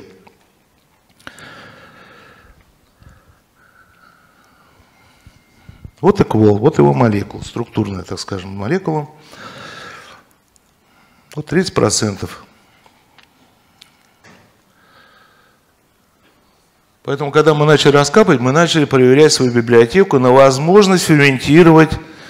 И нужно было создать методику, потому что нам никто это не говорил, нам никто не принес на тарелочке, вот сделай так. Эту методику нужно было разрабатывать, да, искать стандарты, заказывать их – вот этим у нас Рома занимается, который вчера читал вам лекцию. И как оказалось, что наш панбиолакт ДФМ содержит два штамма, вот верхней строчки, которые хорошо умеют ферментировать эквол из предшественников – это вот мне пришла мысль, ну, когда-ка я проверю нашу добавку, которую мы выделяли у женщины, у Селиванова Сергея Петровича, вот я рассказывал, топ, штаммы задепонированы, а, которые вот из 115, так скажем, мазков мы отобрали 2, 3, 3. Что такое? Ну, это ацидофильная, там, козы, это молочно-кислые бактерии, да, которые живут в влагающей у женщины. И вот две из них оказались Э, эффективными в плане продукции. Я тогда стал все проверять. 9 штук. Вот здесь вы видите эту таблицу. Ее может быть трудно понять, но где минус 100, это значит съели все, переработали все. Вот правее смотрите, да, это слева направо идет по возрастающей показатели этого исследования. Диадзин съели, Дейдзеин прибавился, плюс 38. Глицетин съели, глицетеин прибавился. Генестин съели, генестеин прибавился. Это вот метаболиты, я там наверху была картинка, как происходит эта биотрансформация. Вот теперь мы можем выпустить новую формулу женщины с учетом этих факторов. Сегодня у нас, получается, содержит два штамма. Но мы должны ввести туда предшественники нужные, чтобы потом они смогли сразу из них производить эти метаболиты. Ну, понимаете логику, да? Это, собственно, наша классификация этих микроорганизмов.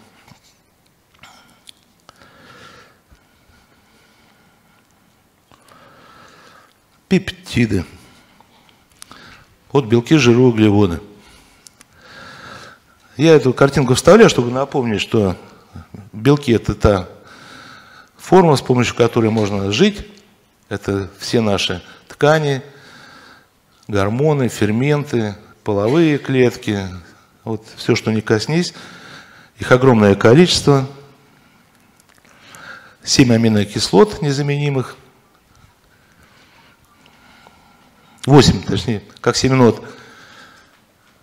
И с помощью вот этой конструкции можно... Есть гораздо, аминокислот гораздо больше, потому что есть растительные, те же, помните, тианин, аминокислота из чая, которую мы используем там.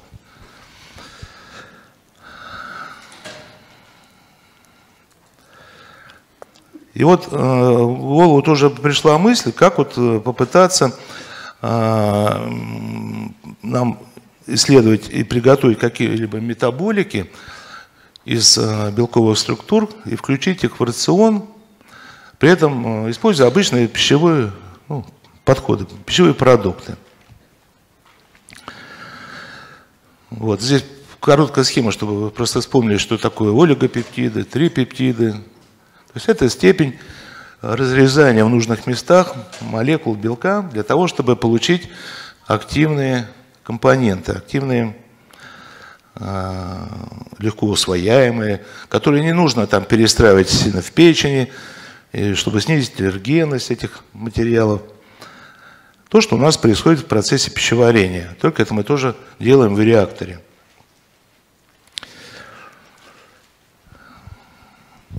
Очень достаточно ну, много есть литературы, где описываются различные подходы. Вот. Мы используем э, в основном это белки молока, сывороточные белки. Вот. Мясо мы не тащим в реакторы или э, парамскую ветчину.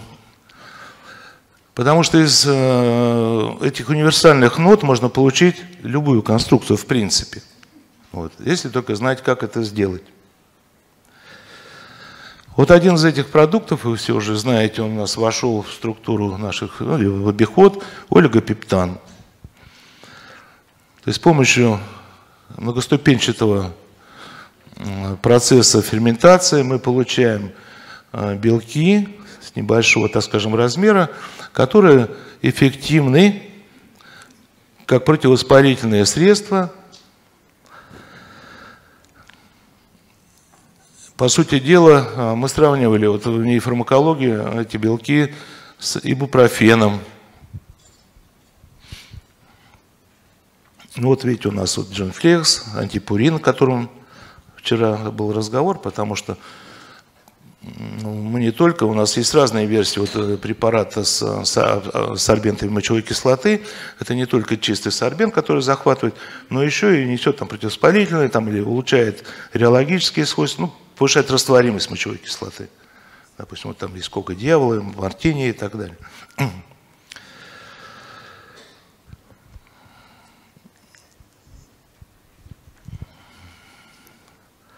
Ну вот методика, по которой мы исследовали противовоспалительные свойства этого белка. То есть есть стандартный тест формалиновый, когда формалин, вы знаете, это очень такой активный раздражитель. А, который вызывает гистаминные реакции выраженные, процесс воспаления. И дальше уже исследуется, там или хвостик отрезается, смотрит глубину поражения, там, степень распространения некроза или там, повреждение желудка и так далее. Вот мы получили, что вот угнетение от этих воспалительных процессов составляет 38 процентов ну, э, активности этого процесса. Со, вот ибупрофен 39, терафлекс, терафлю 37,9. При этом этот белок, он является этой едой, по сути дела, которую мы должны сами у себя приготовить и заниматься им, ну, в организме вот этими процессами. То есть не ксенобиотик. Вот чем отличается еда, для чего мы едим – чтобы вот это все происходило, чтобы мы жили, не болели, регулировали, а не пили пирамидон с индомитацином или ибупрофен, вот, который потом еще нам повреждает и выключает синтез простагландинов через вот эти десатуразные ферменты. Э, разработанный, сейчас э, мы не выпускаем еще препарат, мы его проверяем, э, регулятор артериального давления. Тоже это на основе сывочных белков мы ферментировали пептиды с определенной последовательностью, которые имеют тропность к системе брадикинина в нашем организме. То есть это антагонисты, ангиотензин, превращающих вот, э, ферментов, гормона, ну, цепочка. И по принципу механизма вот, э, азот-синтаза, которая из аргинина нам готовит вот этот механизм снятия спазма, это же быстро, то есть инь-янь, инь-янь, вкл-выкл, да, то есть процессы моментально должны происходить. То есть если мы еще не понервничали, то нам завтра не надо, чтобы у нас тонус сосудов снизился. Нам что это надо, чтобы было всегда быстро и оперативно. Это тоже еда. Вот этим богаты лактобациллы херветикус, которая сырные бактерии и другие некоторые виды. А, потому что мы сейчас очень плотно занимаемся и сырами, и пищевками, потому что к нам пришли, говорят, у нас сейчас э, заквасок нет, сырная промышленность катастрофа. И у нас сейчас целая группа выделенная, а, которая занимается созданием заквашенных культур для пищевой промышленности, вот кисломолочные все вот эти, да, это очень серьезная проблема. То, что вымерли все, никого нет, все готовы просто взять а те нам продали, а сейчас говорит, мы вам не дадим. И целые, ну представьте, если корову не подоили, ее надо, то что молоко никуда не ушло. А дальше вот по цепочке все. То есть э, приезжала администрация, подключили Курчатовский центр, ТГУ, мы создали библиотеку, мы создали уже э, сыр, обучили девочек, э, вот, ну тоже случай такой, знаете, вот поучительный. Вроде э, был институт сыра у нас, не один, когда было собственно в советские времена сыроделание. И был такой на Алтае, в Барнауле институт, он и сейчас есть.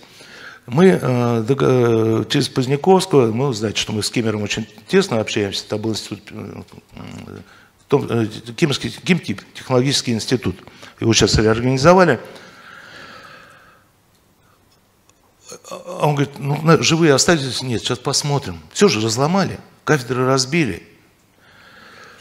И я, значит, говорю, что да, люди есть. Я говорю, ну давайте примем, посмотрите наше производство, как адаптировать, какое оборудование нам докупить, чтобы быстро начать эту работу. Они говорят, а мы не приедем. Я говорю, почему? А мы старые, мы не доедем. Нам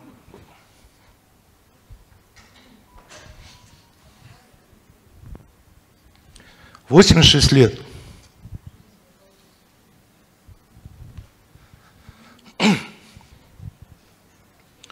Вот мы теряем, это невосполнимые вещи. Все хорошо закончилось, мы разработали, создали, прошли тестирование по нашим советским ГОСТам сыра, голландский. А производитель говорит, а что это за сыр? Мы не знаем такой. Он еще до революции 200 заводов вот, при Балтике, да, это основной ссылка. Сапской, голландский был у нас в Советском Союзе. А сейчас Гава, ну вот эти, да, итальянские, на тех заквасках. И то есть я не знаю, как приурочиться к этим проблемам, потому что или у меня в голове там, я не могу это развернуть обратно, и там тоже.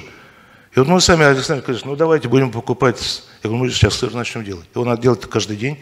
Он зреет, зреет, он новое молоко, там на стандартное молоко, стандартное молоко и так далее. Ну и дальше там историю расскажу, тоже интересно, потому что мы занимаемся сейчас глубокой переработкой уже других тоже материй. И вот создали мы, э, проверили, исследовали, так скажем, на моделях на животных, использовали э, для сравнения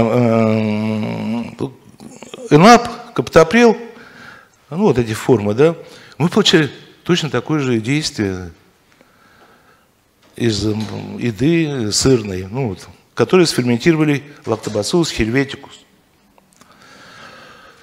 И эта технология у нас есть, но, понимаете, я, мы же БАДы делаем, и здесь вот, я не знаю, чтобы мне попасть там между законов каких-то, да, что мы ну, там вот регулируем давление, потому что это все же вещи такие ответственные и сильнодействующие.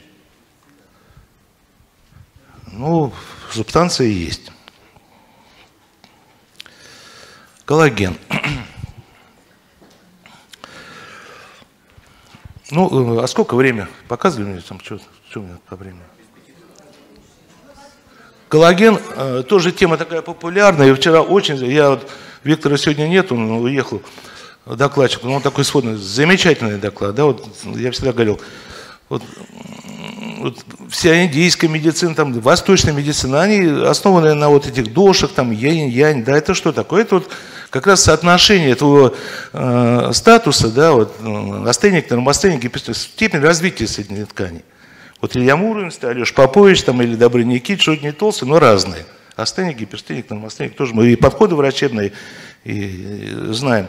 И вот, э, конечно, коллаген появился, когда был этот, так скажем, взрыв, когда появились млекопитающие, да, вот именно появился коллаген, и практически он очень близок у всех, так скажем, вот, живущих на планете живых существ, их можно съесть и перестроить, ну, свой коллаген получить.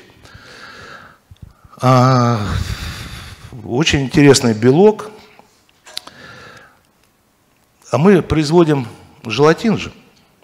Ой, же производим пинбольные шары, капсулы. Да, у нас много желатина, из которого мы тоже стали синтезировать собственный коллаген с помощью вот разных форм и получать разные, так скажем, белки разного размера, молекулы, так скажем. Вот ферменты справа, которые мы используем, алкалазы, коллагеназы, панкреатины, папаины, это специальные условия, где мы можем пилить коллаген вот до мельчайших, там получать разные, ну так скажем, остатки большой молекулы. Ну, процесс называется гидролиз. Можно, как говорится, щелочью, можно кислотой, но мы делаем это энзимами. Потому что это управляемый процесс, где можно с помощью условий менять в нужном месте, резать эту большую молекулу. Вот у нас огромная, вот посмотрите, гидроксипролин, 12, 124 миллиграмм на грамм.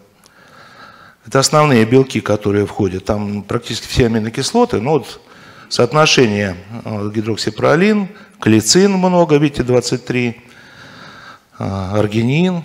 Это структурные белки коллагена. Он бывает там первого, второго, третьего, на самом деле там больше типов, то есть там или он линейная структура, как веревка скручена, это сетчатый тип, или там и такой, и такой, то есть для каждого, так скажем, участка кожи, ноги, там компактное вещество, э, свое, свое строение. А у нас смешаны все три типа коллагена. Ну вот аминокислотный состав, о котором я немножко сказал, коллагена. Вот сравнение нашего метаколлагена, он побогаче гидроксипролином, чем ну, контрольные образцы, которые мы там на рынке брали, тоже используем. У нас тоже есть и привозной коллаген. И сейчас а, вот у нас индусы уехали, Александр Николаевич сегодня приехал, вчера приехал, да, почему? Потому что была встреча а, с партнерами, которые а, нам предлагают рыбный коллаген. У нас будет продукт, который тоже очень хорошо усваивается на основе рыбного коллагена. Ну, слышали, наверное, эту историю, да, тему. Вот сейчас ведутся переговоры. Первое, так скажем, мы образцы получили, будем изучать, смотреть, э, конструировать какой-то продукт. Ну вот, на ваш вопрос тоже. У нас все три типа коллагенов используются. А, дело в том, что мы получаем его, э, можем в жидкой, в сухой форме получать. В жидкой форме мы получать можем различные концентрации. И при этом по короткой технологии сразу же готовить из него напиток. При этом они достаточно, ну, 7 тысяч, там, 5 тысяч, вот у нас, знаете, да, эти наши продукты.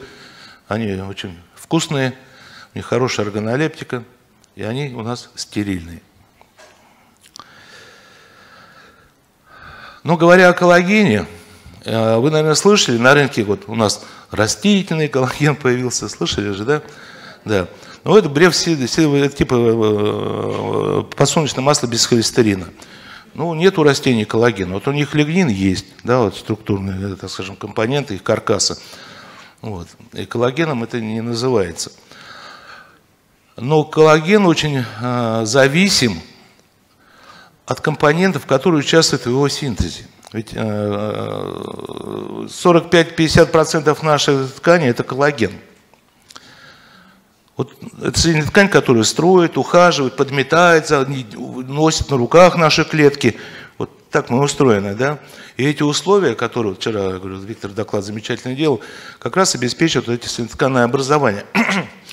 Но они тогда в порядке, и тогда они выполняют функцию, когда есть возможность их обновлять, поддерживать. Эта ткань достаточно инертная, медленная, ну, разные типы коллагенов, синтез. И а, для этого важны а, особые... Вот эти аспекты я здесь вынес. И на первом месте поставил кремний. Когда я начал заниматься вопросами, вот изучать, я помню, у нас в Томском госуниверситете ребята приходили, они сделали нанокремний, мы его исследовали. Вот, ну, надо, и надо безопасность. Но он потом выпадал в осадок. Вообще кремний – это штука такая вещь в себе. Вот, э, интересно, древние, так скажем, мудрецы относили кремний э, к мертвой природе. Вот все камни, э, поверхности, глина – это все кремнозем, кремнезем, песок, вот мертвая природа, мертвая природа. Хотя кремний с углеродом стоят вот так вместе – Но углерод это вот из чего мы сделаны, вся органика, а кремний это что сделана не органика. И поэтому не может быть, чтобы у нас кремний не играл решающую роль, потому что э, он доступен. Ну, как говоря, рядом находясь, мы его особо не замечаем. вот последняя монография, которая, э, ссылок было много, это 76 год, 76-78 год. И тут э, нашел монографию за 20 год, где есть новые данные по роли кремния, его метаболизму. И вот когда мы занимались вот несколько лет назад кремнием, мы не могли почему получить. У нас, если вы посмотрите на наши рецептуры, у нас много где. И в Джон Фрексе там есть кремний. Это, в виде э, золы мы используем этого, не папоротника, а хвощ. То есть он э, много собирает, так скажем, из подстилки, из, э, из почвы. Бамбук источником является кремния. Но его много, но его трудно усвоить.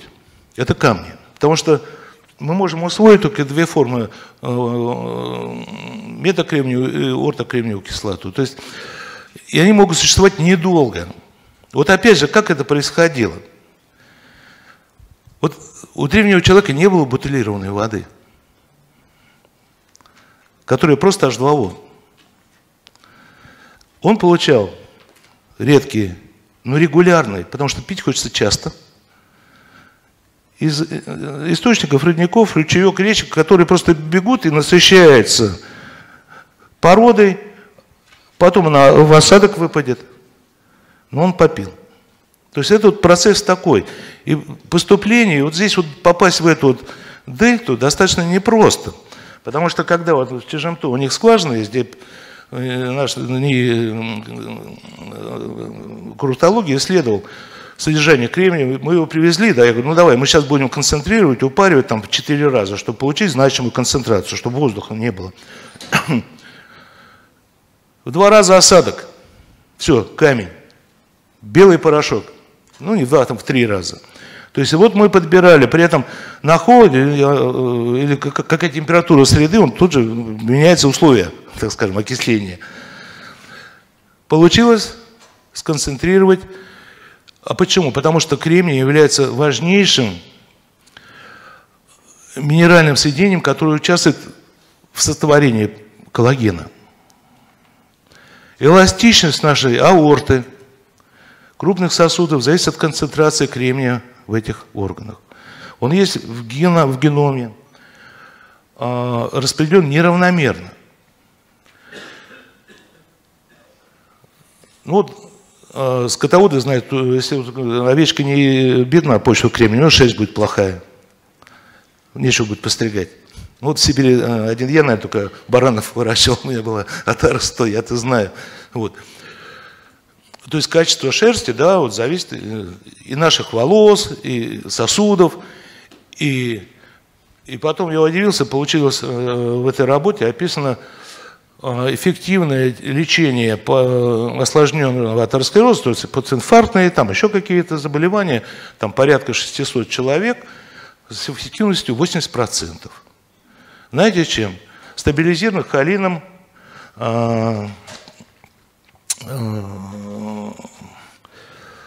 холинохлорид есть форма, ну, всем известный холин, да, а, он стабилизирует кремний в растворе глицерина. Это парорально, и местно они использовали еще э, различные процедуры типа фонофореза там, на пораженные там, э, окклюзионные сосуды. Я сам делал только то, что вот единственное нашел такую историю, и удивился, ну, очень такие уж серьезные показатели.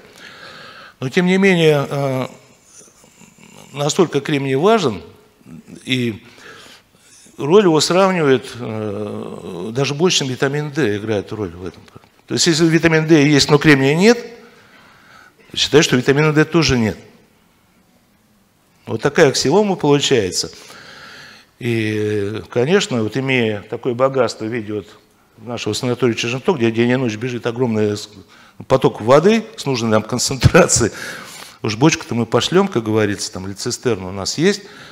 Вот, мы э, стали ферментировать коллаген на этом субстрате. То есть вместо обычной воды мы использовали концентрат в два раза ну, потому что жидкая среда, и получили стабильную форму обогащенного кремнием ну, мелкоструктурного коллагена. Ну, я не знаю, как правильно сказать, но так и так правильно, просто это уже терминология. Ну, вот здесь коротко вот про эти вещи я там рассказывал.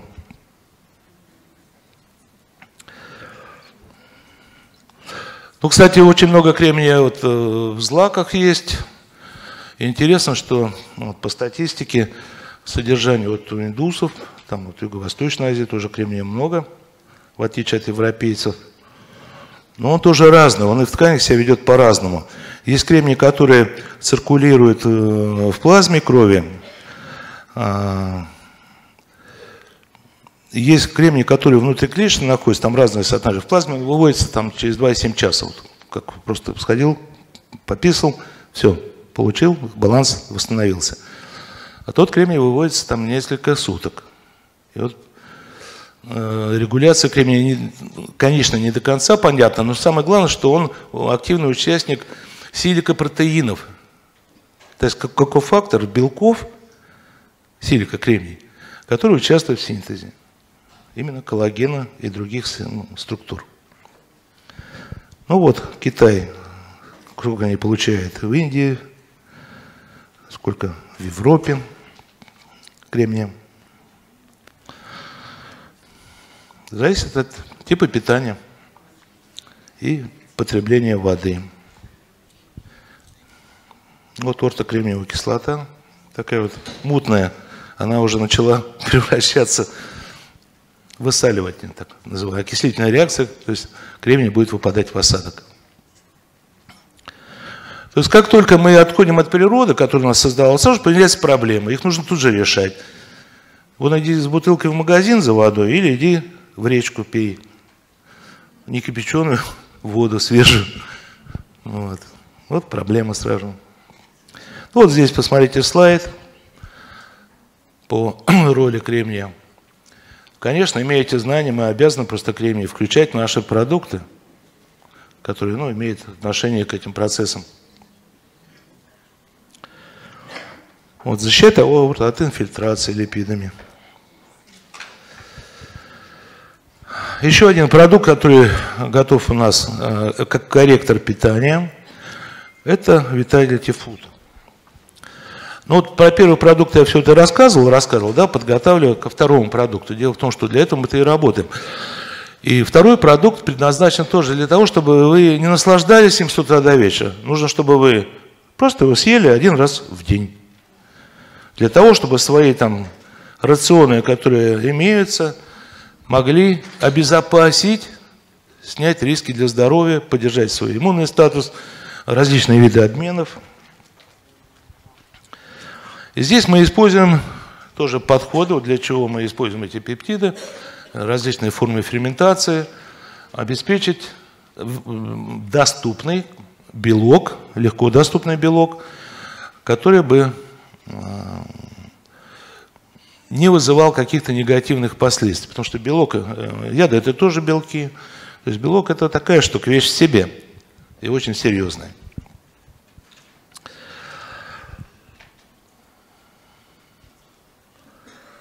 Состав очень сложный, то есть, э, но тем не менее, это, это как супереда. Мы рассчитываем на то, что мы будем поддерживать все основные, не лечить кого-то, а нормальному человеку дать больше здоровья, обеспечить меньше рисков, снять эти риски. Вы видите, вот моноза, рибоза, минорные сахара, о которых я вам говорил, а, антиоксиданты, а, гидроксицитрат, гидролимонная кислота, она регулирует у нас уровень усвоения углеводов. Измальтит, платиноза, среднецепочные триглицериды, делиоз, различные комбинации масел, гидролизаты белков, различные белки, различные белки. Ультрализаты – вот, расторопша, там коррекция функции печени, поддержка. Трансресвератрол, ресвератрол, кверцетин, интарная кислота, витаминно-минеральный комплекс. То есть задача его поддержать, сгармонизировать ваше питание. Раз в день. Он очень вкусный. Вот, его приятно, легко дозировать. Но не хочется его называть коктейлем, это не сюсли-мюсли, но а, это суперфуд. Ну, Не знаю, можете придумать название. Потому что я хочу именно целую линейку адресную сделать и для, говорил, костсуставной, центральной нервной системы, сердечно-сосудистой, вот поддержку к этим, что ну, не у всех, не все мы болеем геморроем, что называется, да, но чтобы у человека была пищевая вот, а, адекватная поддержка, чтобы он ну, стремился хотя бы к правильному рациону и уходил, так скажем, от тех проблем, которые мы сегодня имеем. Вот 20 грамм белка. Это высокобелковый продукт с высокой концентрацией или плотностью белка. В том числе вот э, еще одна тема, я просто, мне уже сигнал показывал, я поэтому быстренько пробегаю. Очень важная тема – это другие белки, альбумины. А альбумины – это очень быстрые белки, очень мелкие, да, они, есть глобулины, есть там сложные белки. А есть альбумины, которые составляют там более 50% нашей плазмы. У них очень серьезная функция, помимо строительной, онкотическое, астматическое давление, все, ухожу. Вот. Я, ну, тоже история. Это тоже молоко, но другое молоко. Вот казеин – это молоко для коровы, ну, для теленка. Для нас хорошее наше молоко, да, потому что казеин такой белок, он крупный, трудно усваивается, у него там аллергии различные на него возникают. А когда сыр делают, ферментируют, там, хельветикус, ну там, там разные есть виды, ме- мезофильные закваски, там, моновидные, там, поливалентные закваски, то в сыворотке остаются именно самые мелкие. Тут вода, белки, которые сконцентрировать можно. Это альбумин. Это самые легкие, быстро усвояемые, самые полноценные, самые дорогие, по сути дела, белки. Потому что это ушло в сыр, бактерии сели, а здесь остается и немножко там еще а, глобулин, ну, практически совсем мало. И вот э, из этого продукта потом делается альбуминный творожок. Вот так он выглядит. То есть его э, греют, белок коагулирует, получается вот такая густая масса, э, которая плохо продается. Потому что у нее срок годности трое суток, его надо куда-то везти. Вот. Он достаточно недорог по цене. Ведь наш, мы с молочниками сейчас много, я говорю, «Ва- э, э, короче, мы его взяли в оборот, а сделали из него совершенно другой продукт, который а, представляет собой тоже ферментированный, высококонцентрированный белок. При этом остатки лактозы мы скормили бактериям частично, они уже съели, когда сыр делали. А совсем ми- микрограммы их э, лактаза, это фермент допилил, просто ее там нет. То есть несколько, в тысячу с этим раз мы остаточно, ну там, не знаю, эту дозу, если перевести, там есть табличка, практически это безлактозный продукт, с высокой концентрацией белка до 60-55%. Легко усвояемого белка, который можно и пайки, и как энтеральное питание для ребят вот из Омска, которые к нам приезжают и готовят подобный продукт, для больных тяжелых.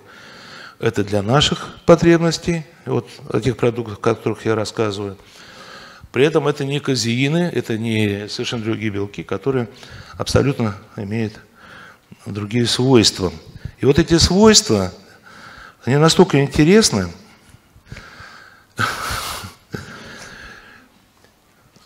ну, вы знаете, сейчас новые препараты пошли, да, которые сахароснижающие. Они, человек поел, у него э, инкретины такие вырабатываются, так скажем, соединения в ответ на еду, которые регулируют появление инсулина и снижение углеводов. И есть такой ДПП-4, который рушит этот процесс, он регулирует. И появились фармпрепараты на эту тему, вот, современные, которые вот регулируют уровень глюкозы. Так вот, лактоальбумины, они как раз а, мешает этой ингибирующей активности ДПП-4 и обладает, усиливает гипогликемическое действие вот изначально. Вот. вот здесь ссылки вот такие мы сделали. То есть очень интересная перспектива, потому что это тоже еда, это из той же оперы, это тоже метаболиты, которые пытаются все почему-то выбросить на помойку. Я говорю, знаете, я говорю, мы корову два года выращиваем, чтобы ее съесть. Тут этого белка столько, да, у них там несколько десятков тонн, это комбинате в день, не знают, куда деть. Я говорю, мы переработаем. Вот. При этом это не дрожжевой там или еще какой-то. Вот. Тоже сделана технология. Вот такая хроматограмма, аминокислотный состав этих продуктов, этого продукта. А вот содержание 44 миллиграмма на грамм и 11 миллиграмм на килограмм. То есть 44 тысячи раз, да, получилось? Остаточное содержание лактозы. Ну, я два слова скажу про грибы, потому что это тоже целая история, потому что вот э, у нас очень активно идет У нас давно грибная тема, я про нее рассказывал, так тут, ну не на чем произвести. Вот занято. Как только мы начали, у нас оборудование уже загружено на 100%. И сейчас мы опять закупаем, и в ближайшее время вот переходим, и, и как только появилась вот эта благая весть, мы сейчас выпустили а, два или три у нас продукта будет новых грибных шоты. Очень важные продукты. А, потому что грибы это вообще тема такая серьезной фармации. Это противораковые препараты, иммуномодулирующие препараты, препараты, влияющие тоже на э, митоз патологических клеток – на структуру нервного волокна. То, что я говорю про доказанные вещи, исследования, которые можно использовать в простых безопасных продуктов на основе редких грибов, о чем Рума я вчера попросил ему доклад сделать вообще вот такой обзорный про грибы, чтобы потом перейти вот на конкретику, на продукты. Вот.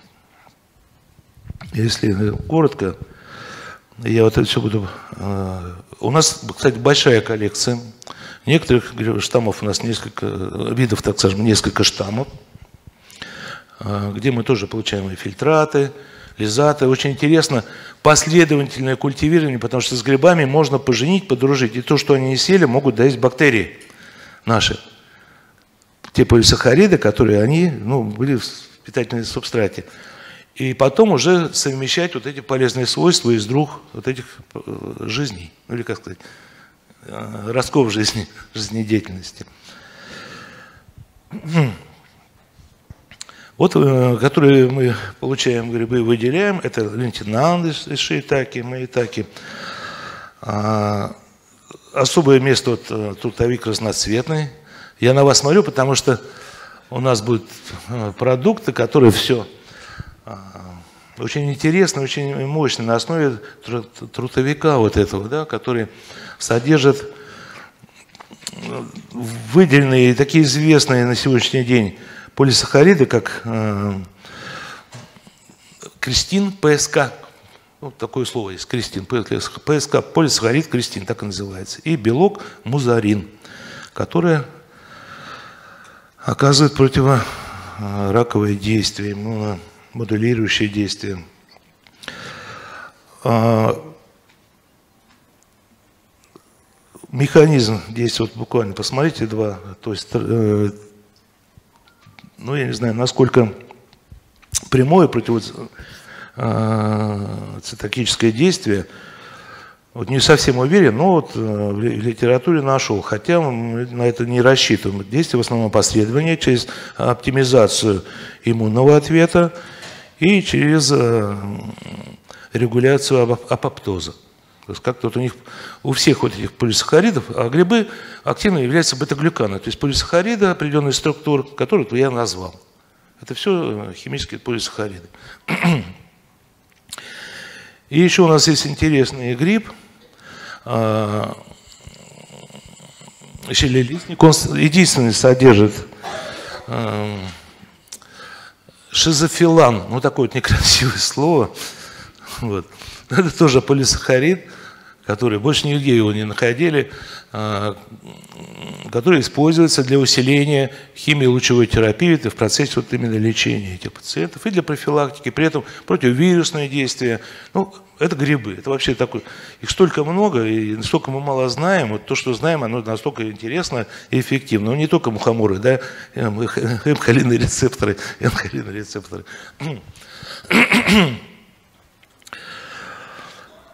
Вот про музарин а, я вам немножко рассказал. Алианоловая кислота. То есть очень мощные факторы. И вот я хочу, мне уже там остановили, проскочить вот для все же препаратов. Один а, фунгарин ПСП, по названию можно понять, что он содержит. Это целая программа, потому что в одну банку не вошло. Это еще и напиток.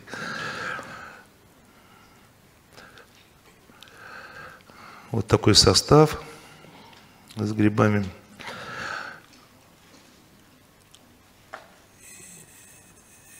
И готовы продукты, зарегистрированные на выходе, они даже этикетировочная машина у нас новая, которая термоусадочную такую красивую пленку наклеит на нас, грибы надо только стерилизовать. Они же спорообразующие, они могут, если там э, споры остаются, они вырастут у тебя хоть где. И в пробирке, и в стакане, и так далее. Поэтому только стерилизация – при определенных условиях, поэтому только стекло. Фунгарин. Вот такой, кстати, очень вкусный продукт. Экстравир. Этот продукт у нас в виде шота. 50 мл раз в день. Можно разделить на три приема. Иммуномодулятор, противовирусные средства –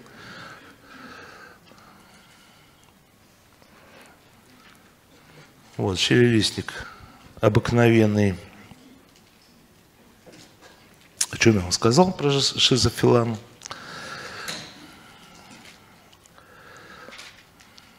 Наталья Анатольевна про интерлейкин 10 вчера рассказала.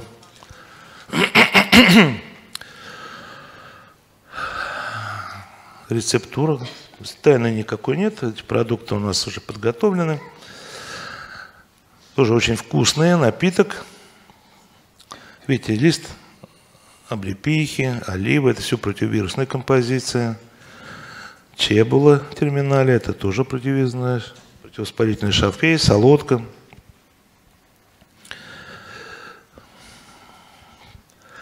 Energy Long. Еще один шот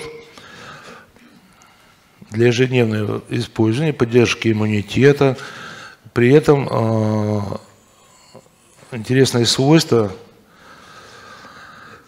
э, метаболитов, которые входят туда, это защита и восстановление миелинового волокна. Это болезнь Альцгеймера и другие нейродегенеративные заболевания.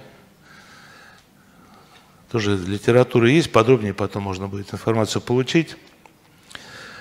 Вот на основе жуйка гребенчатого. Видите, риноцин, серинговая кислота, тоже полисахариды, которые активно, ну, мы можем стандартизировать, и они являются главными участниками вот этих эффектов.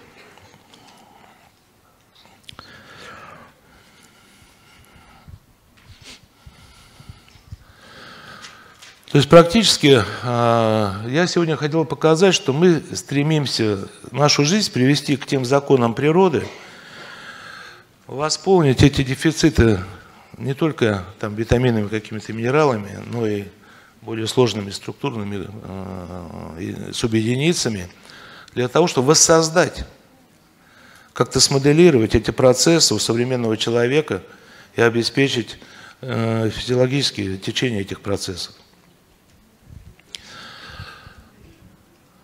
Ну, спасибо вам за терпение, за внимание, потому что я, наверное, вас уже чуть не усыпил. Вот, хотя вчера тоже был день такой насыщенный. Я знаю одно, что э, вот во все это, что я рассказываю, в эти перспективы вложены уже большие деньги, масштабирование, чтобы всем всего хватало. чтобы это была доказательная база. У нас есть замечательные профессора, замечательные люди, которые все это проверят, докажут, исследуют и помогут нашей компании в продвижении, ну, в реализации этих эффектов. Спасибо вам большое.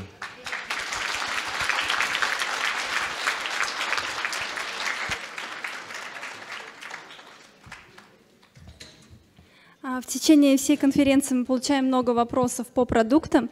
Я сейчас быстро постараюсь ответить на некоторые, которые связаны с маркетингом, с выпуском, а на медицинские Андрей Алексеевич ответит в конце конференции. А, первый вопрос. Когда появится Vitality? Ответ Essential в мае. А, Selection и Green Mix в июне. Но мы делаем все возможное, чтобы чудо произошло быстрее. С какого возраста можно применять Candy Fighter? С 18 лет. А, Green Mix и Probio Selection обязательно ли комбинировать друг с другом? Или можно выбрать один из них и проводить курсы по очереди? А, да, эти продукты можно как комбинировать, так и принимать отдельно. Это два совершенно самостоятельных продукта. Можно ли использовать сопранол дерма? Первый вопрос. На кожу лица? Да. На кожу лица при склонности гирсутимизма тизму, да. Повышенная волосатость, насколько я понимаю, да? Да, можно. Добрый день. Серия, э, дальше серия вопросов про косметику. Здравствуйте, какие новинки будут по косметике? Дальше вопрос. Мы работаем с красотой и омоложением. Какие новинки будут э, в косметологии? А, у нас сейчас будет активно проводиться развитие линейки космецевтики Бьютель, кулинарная космецевтика. Мы уже сейчас работаем над этим. А, далее у нас будет э, целый новый отдел а, маркетологов, несколько будет у нас, которые будут заниматься чисто разработкой косметики. Сейчас мы набираем команду еще дизайнеров. У нас будет отдельная линейка суббренд косметики. А, вопрос, Серия InCaps э, по косметике. Что будет на замену? InCaps, напоминаю, это была э, продукция для людей с проблемами акне. А, да, на самом деле мы сейчас будем расширять все а, линейки и связанные с продукцией, с, кос с, кос с косметикой а, для проблемной кожи, anti-age, для ежедневного пользования. И мы над всем этим работаем. На данный момент, буквально на следующей неделе, мы планируем утвердить новую рецептуру, форму и формулу гиалуронового мусса. А, дальше мы планируем активно использовать в косметике фильтраты, метабиотики и э, грибы. А, так, по косметике вроде все. Косметику для волос. Мы прекрасно знаем, что вы все очень ждете. Шампуни, бальзамы, маски. Это все тоже в работе. Так, в принципе, все. А, сейчас мы бы хотели вам представить уникальный проект «Оздоровительный тур э, с комплексной программой СПА для восстановления организма а, в нашей легендарной ArtLife заимке». А, он пройдет с 9 по 13 июня. Прошу включить видео. Каждый день в суете заботы и волнений мы забываем о самом важном – о себе.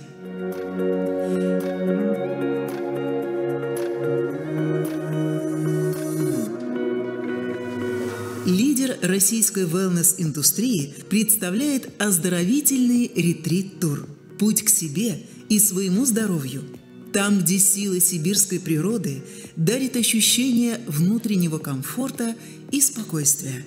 А питание по оздоровительному протоколу без глютена, лактозы и сахара при поддержке микробиотических продуктов anti-age детокс настраивает правильное пищеварение и обмен веществ. Опытные специалисты проводят психологические практики и запускают процессы восстановления не только тела, но и ментального здоровья. Работа с телом и висцеральный массаж позволят достичь физической гармонии. Бальнеотерапия с лечебными грязями, таласотерапия и целебный пар русской бани сделают весь процесс восстановления совершенным. В подарок – все участники получают кейс – продукты орта молекулярной медицины, в которых сочетаются передовые формулы и уникальные биотехнологические разработки ArtLife. Обновление и наполнение энергии, легкость и молодость. Путь к себе и своему здоровью. Самое время начать. Хотелось бы добавить несколько слов об оздоровительной программе. Она включает консультацию врачей-эндокринолога, психотерапевта, нутрициолога. Ежедневно будут проходить танцевально-двигательная терапия, висцеральный массаж и мастер-классы обучения самомассажу внутренних органов. Также будут э, работать специалисты, э, проводящие психологические практики. Обязательно спа процедуры в сауне, бальнеотерапия лечебными грязями, талассотерапия, обертывание – минеральными гелями и, конечно же, целебное действие русской бани. Специально разработанный протокол anti-age и детокс питания при поддержке микробиотическими продуктами производства ArtLife. А, и самый главный подарок от компании только для участников тура – это продукты ортомолекулярной медицины, которых нет на рынке. Что туда будет входить? Это революционный метаболический продукт с высокоэффективным консорциумом высших базидальных грибов и метаболический комплекс бактерий высокой концентрации. Препарат на основе медицинских грибов, мощнейших антиоксидантов и иммунопротекторов, в том числе и онкопротекторов. Комплекс содружественных транзиторных живых микроорганизмов и ультрализатов. Еще нужно обязательно добавить и сделать тур, э, и сделать э, замечание, то, что этот тур будет еще и познавателем. Экскурс, э, экскурсия по крупнейшему производству продуктов на Калтай, а также экскурсия по городу Томску с профессиональным экскурсоводом. А, на этом мы объявляем перерыв до 14.30. А, после нас ждет семинар а, на крайне интересную тему, которую проведет Андрей Гострый по теме Институт интегральной превентивной медицины. Собираемся в 14.30.